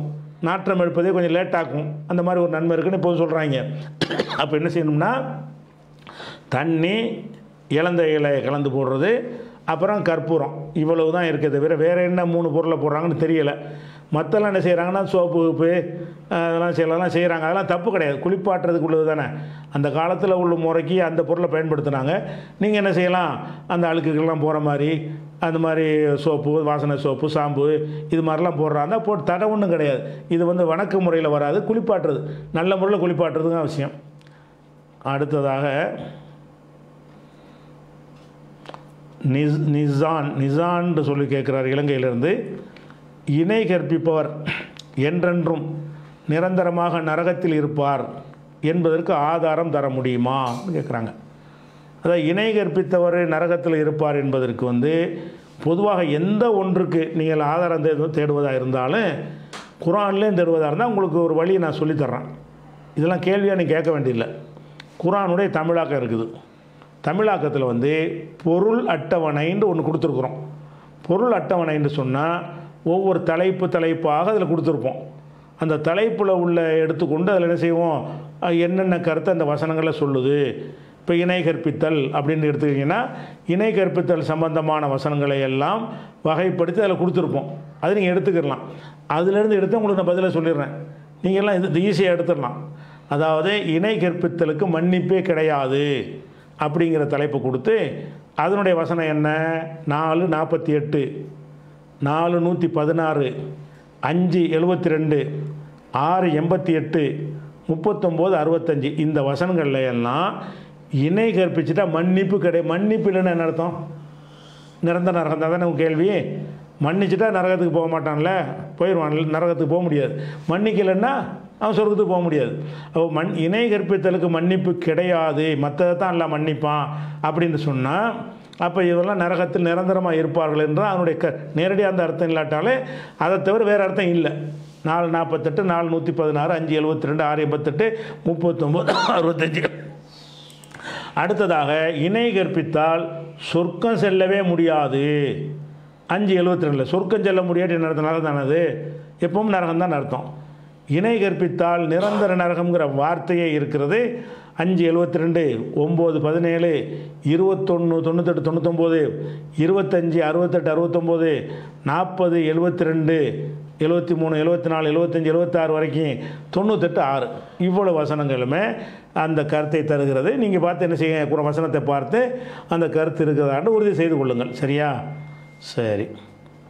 அடுத்ததாக அதே சகோதரர் கேட்குறாரு. நிசான்கிறவர் இலங்கையிலிருந்து கேட்குறாரு ஒருவர் இரவில் வித்திரை மாத்திரம் அதாவது ஏழு அஞ்சு மூணு ஒன்று என்று தொழலாமா இரவில் இஷா தொழுதுறோம்.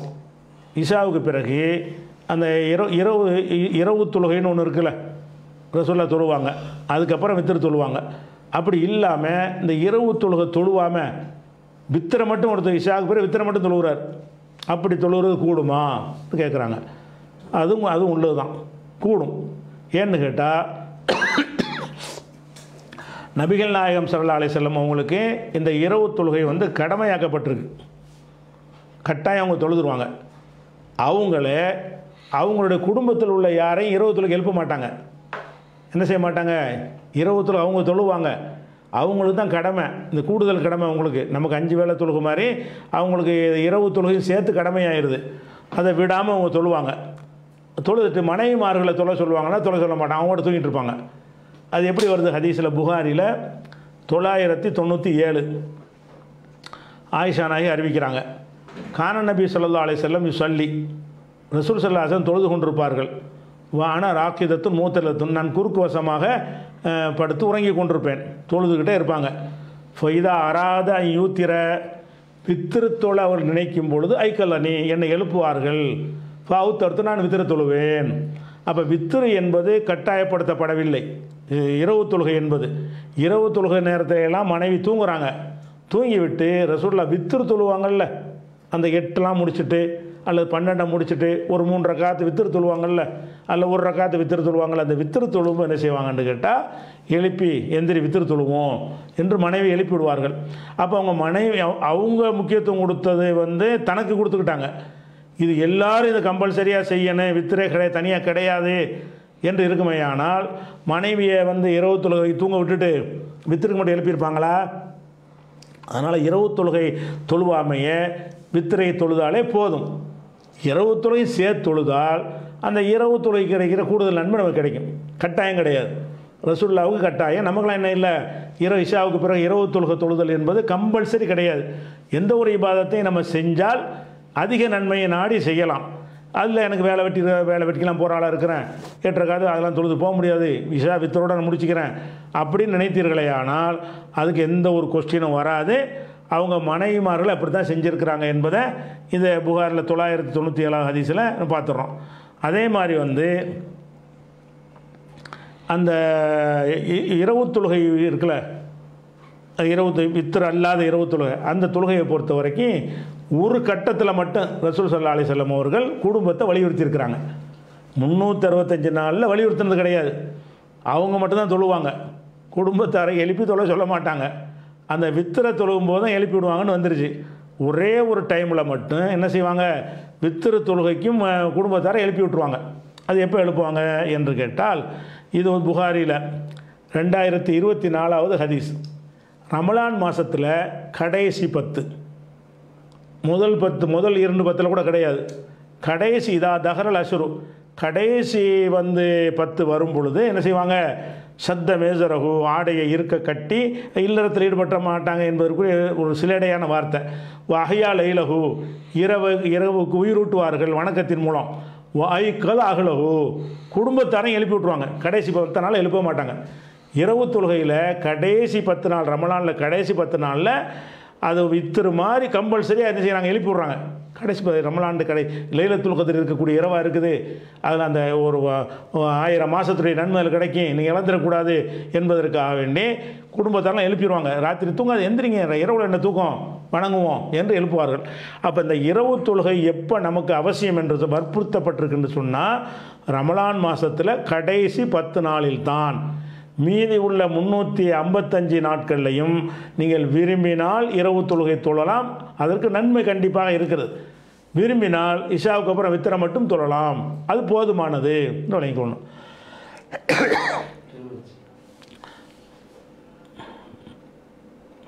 போதுமா டைம் ஆச்சா? சரி நிறைய கேள்விகள் இருக்குன்னு சார் அடுத்த வரும் பார்ப்போம். அலாம் வலைக்கம்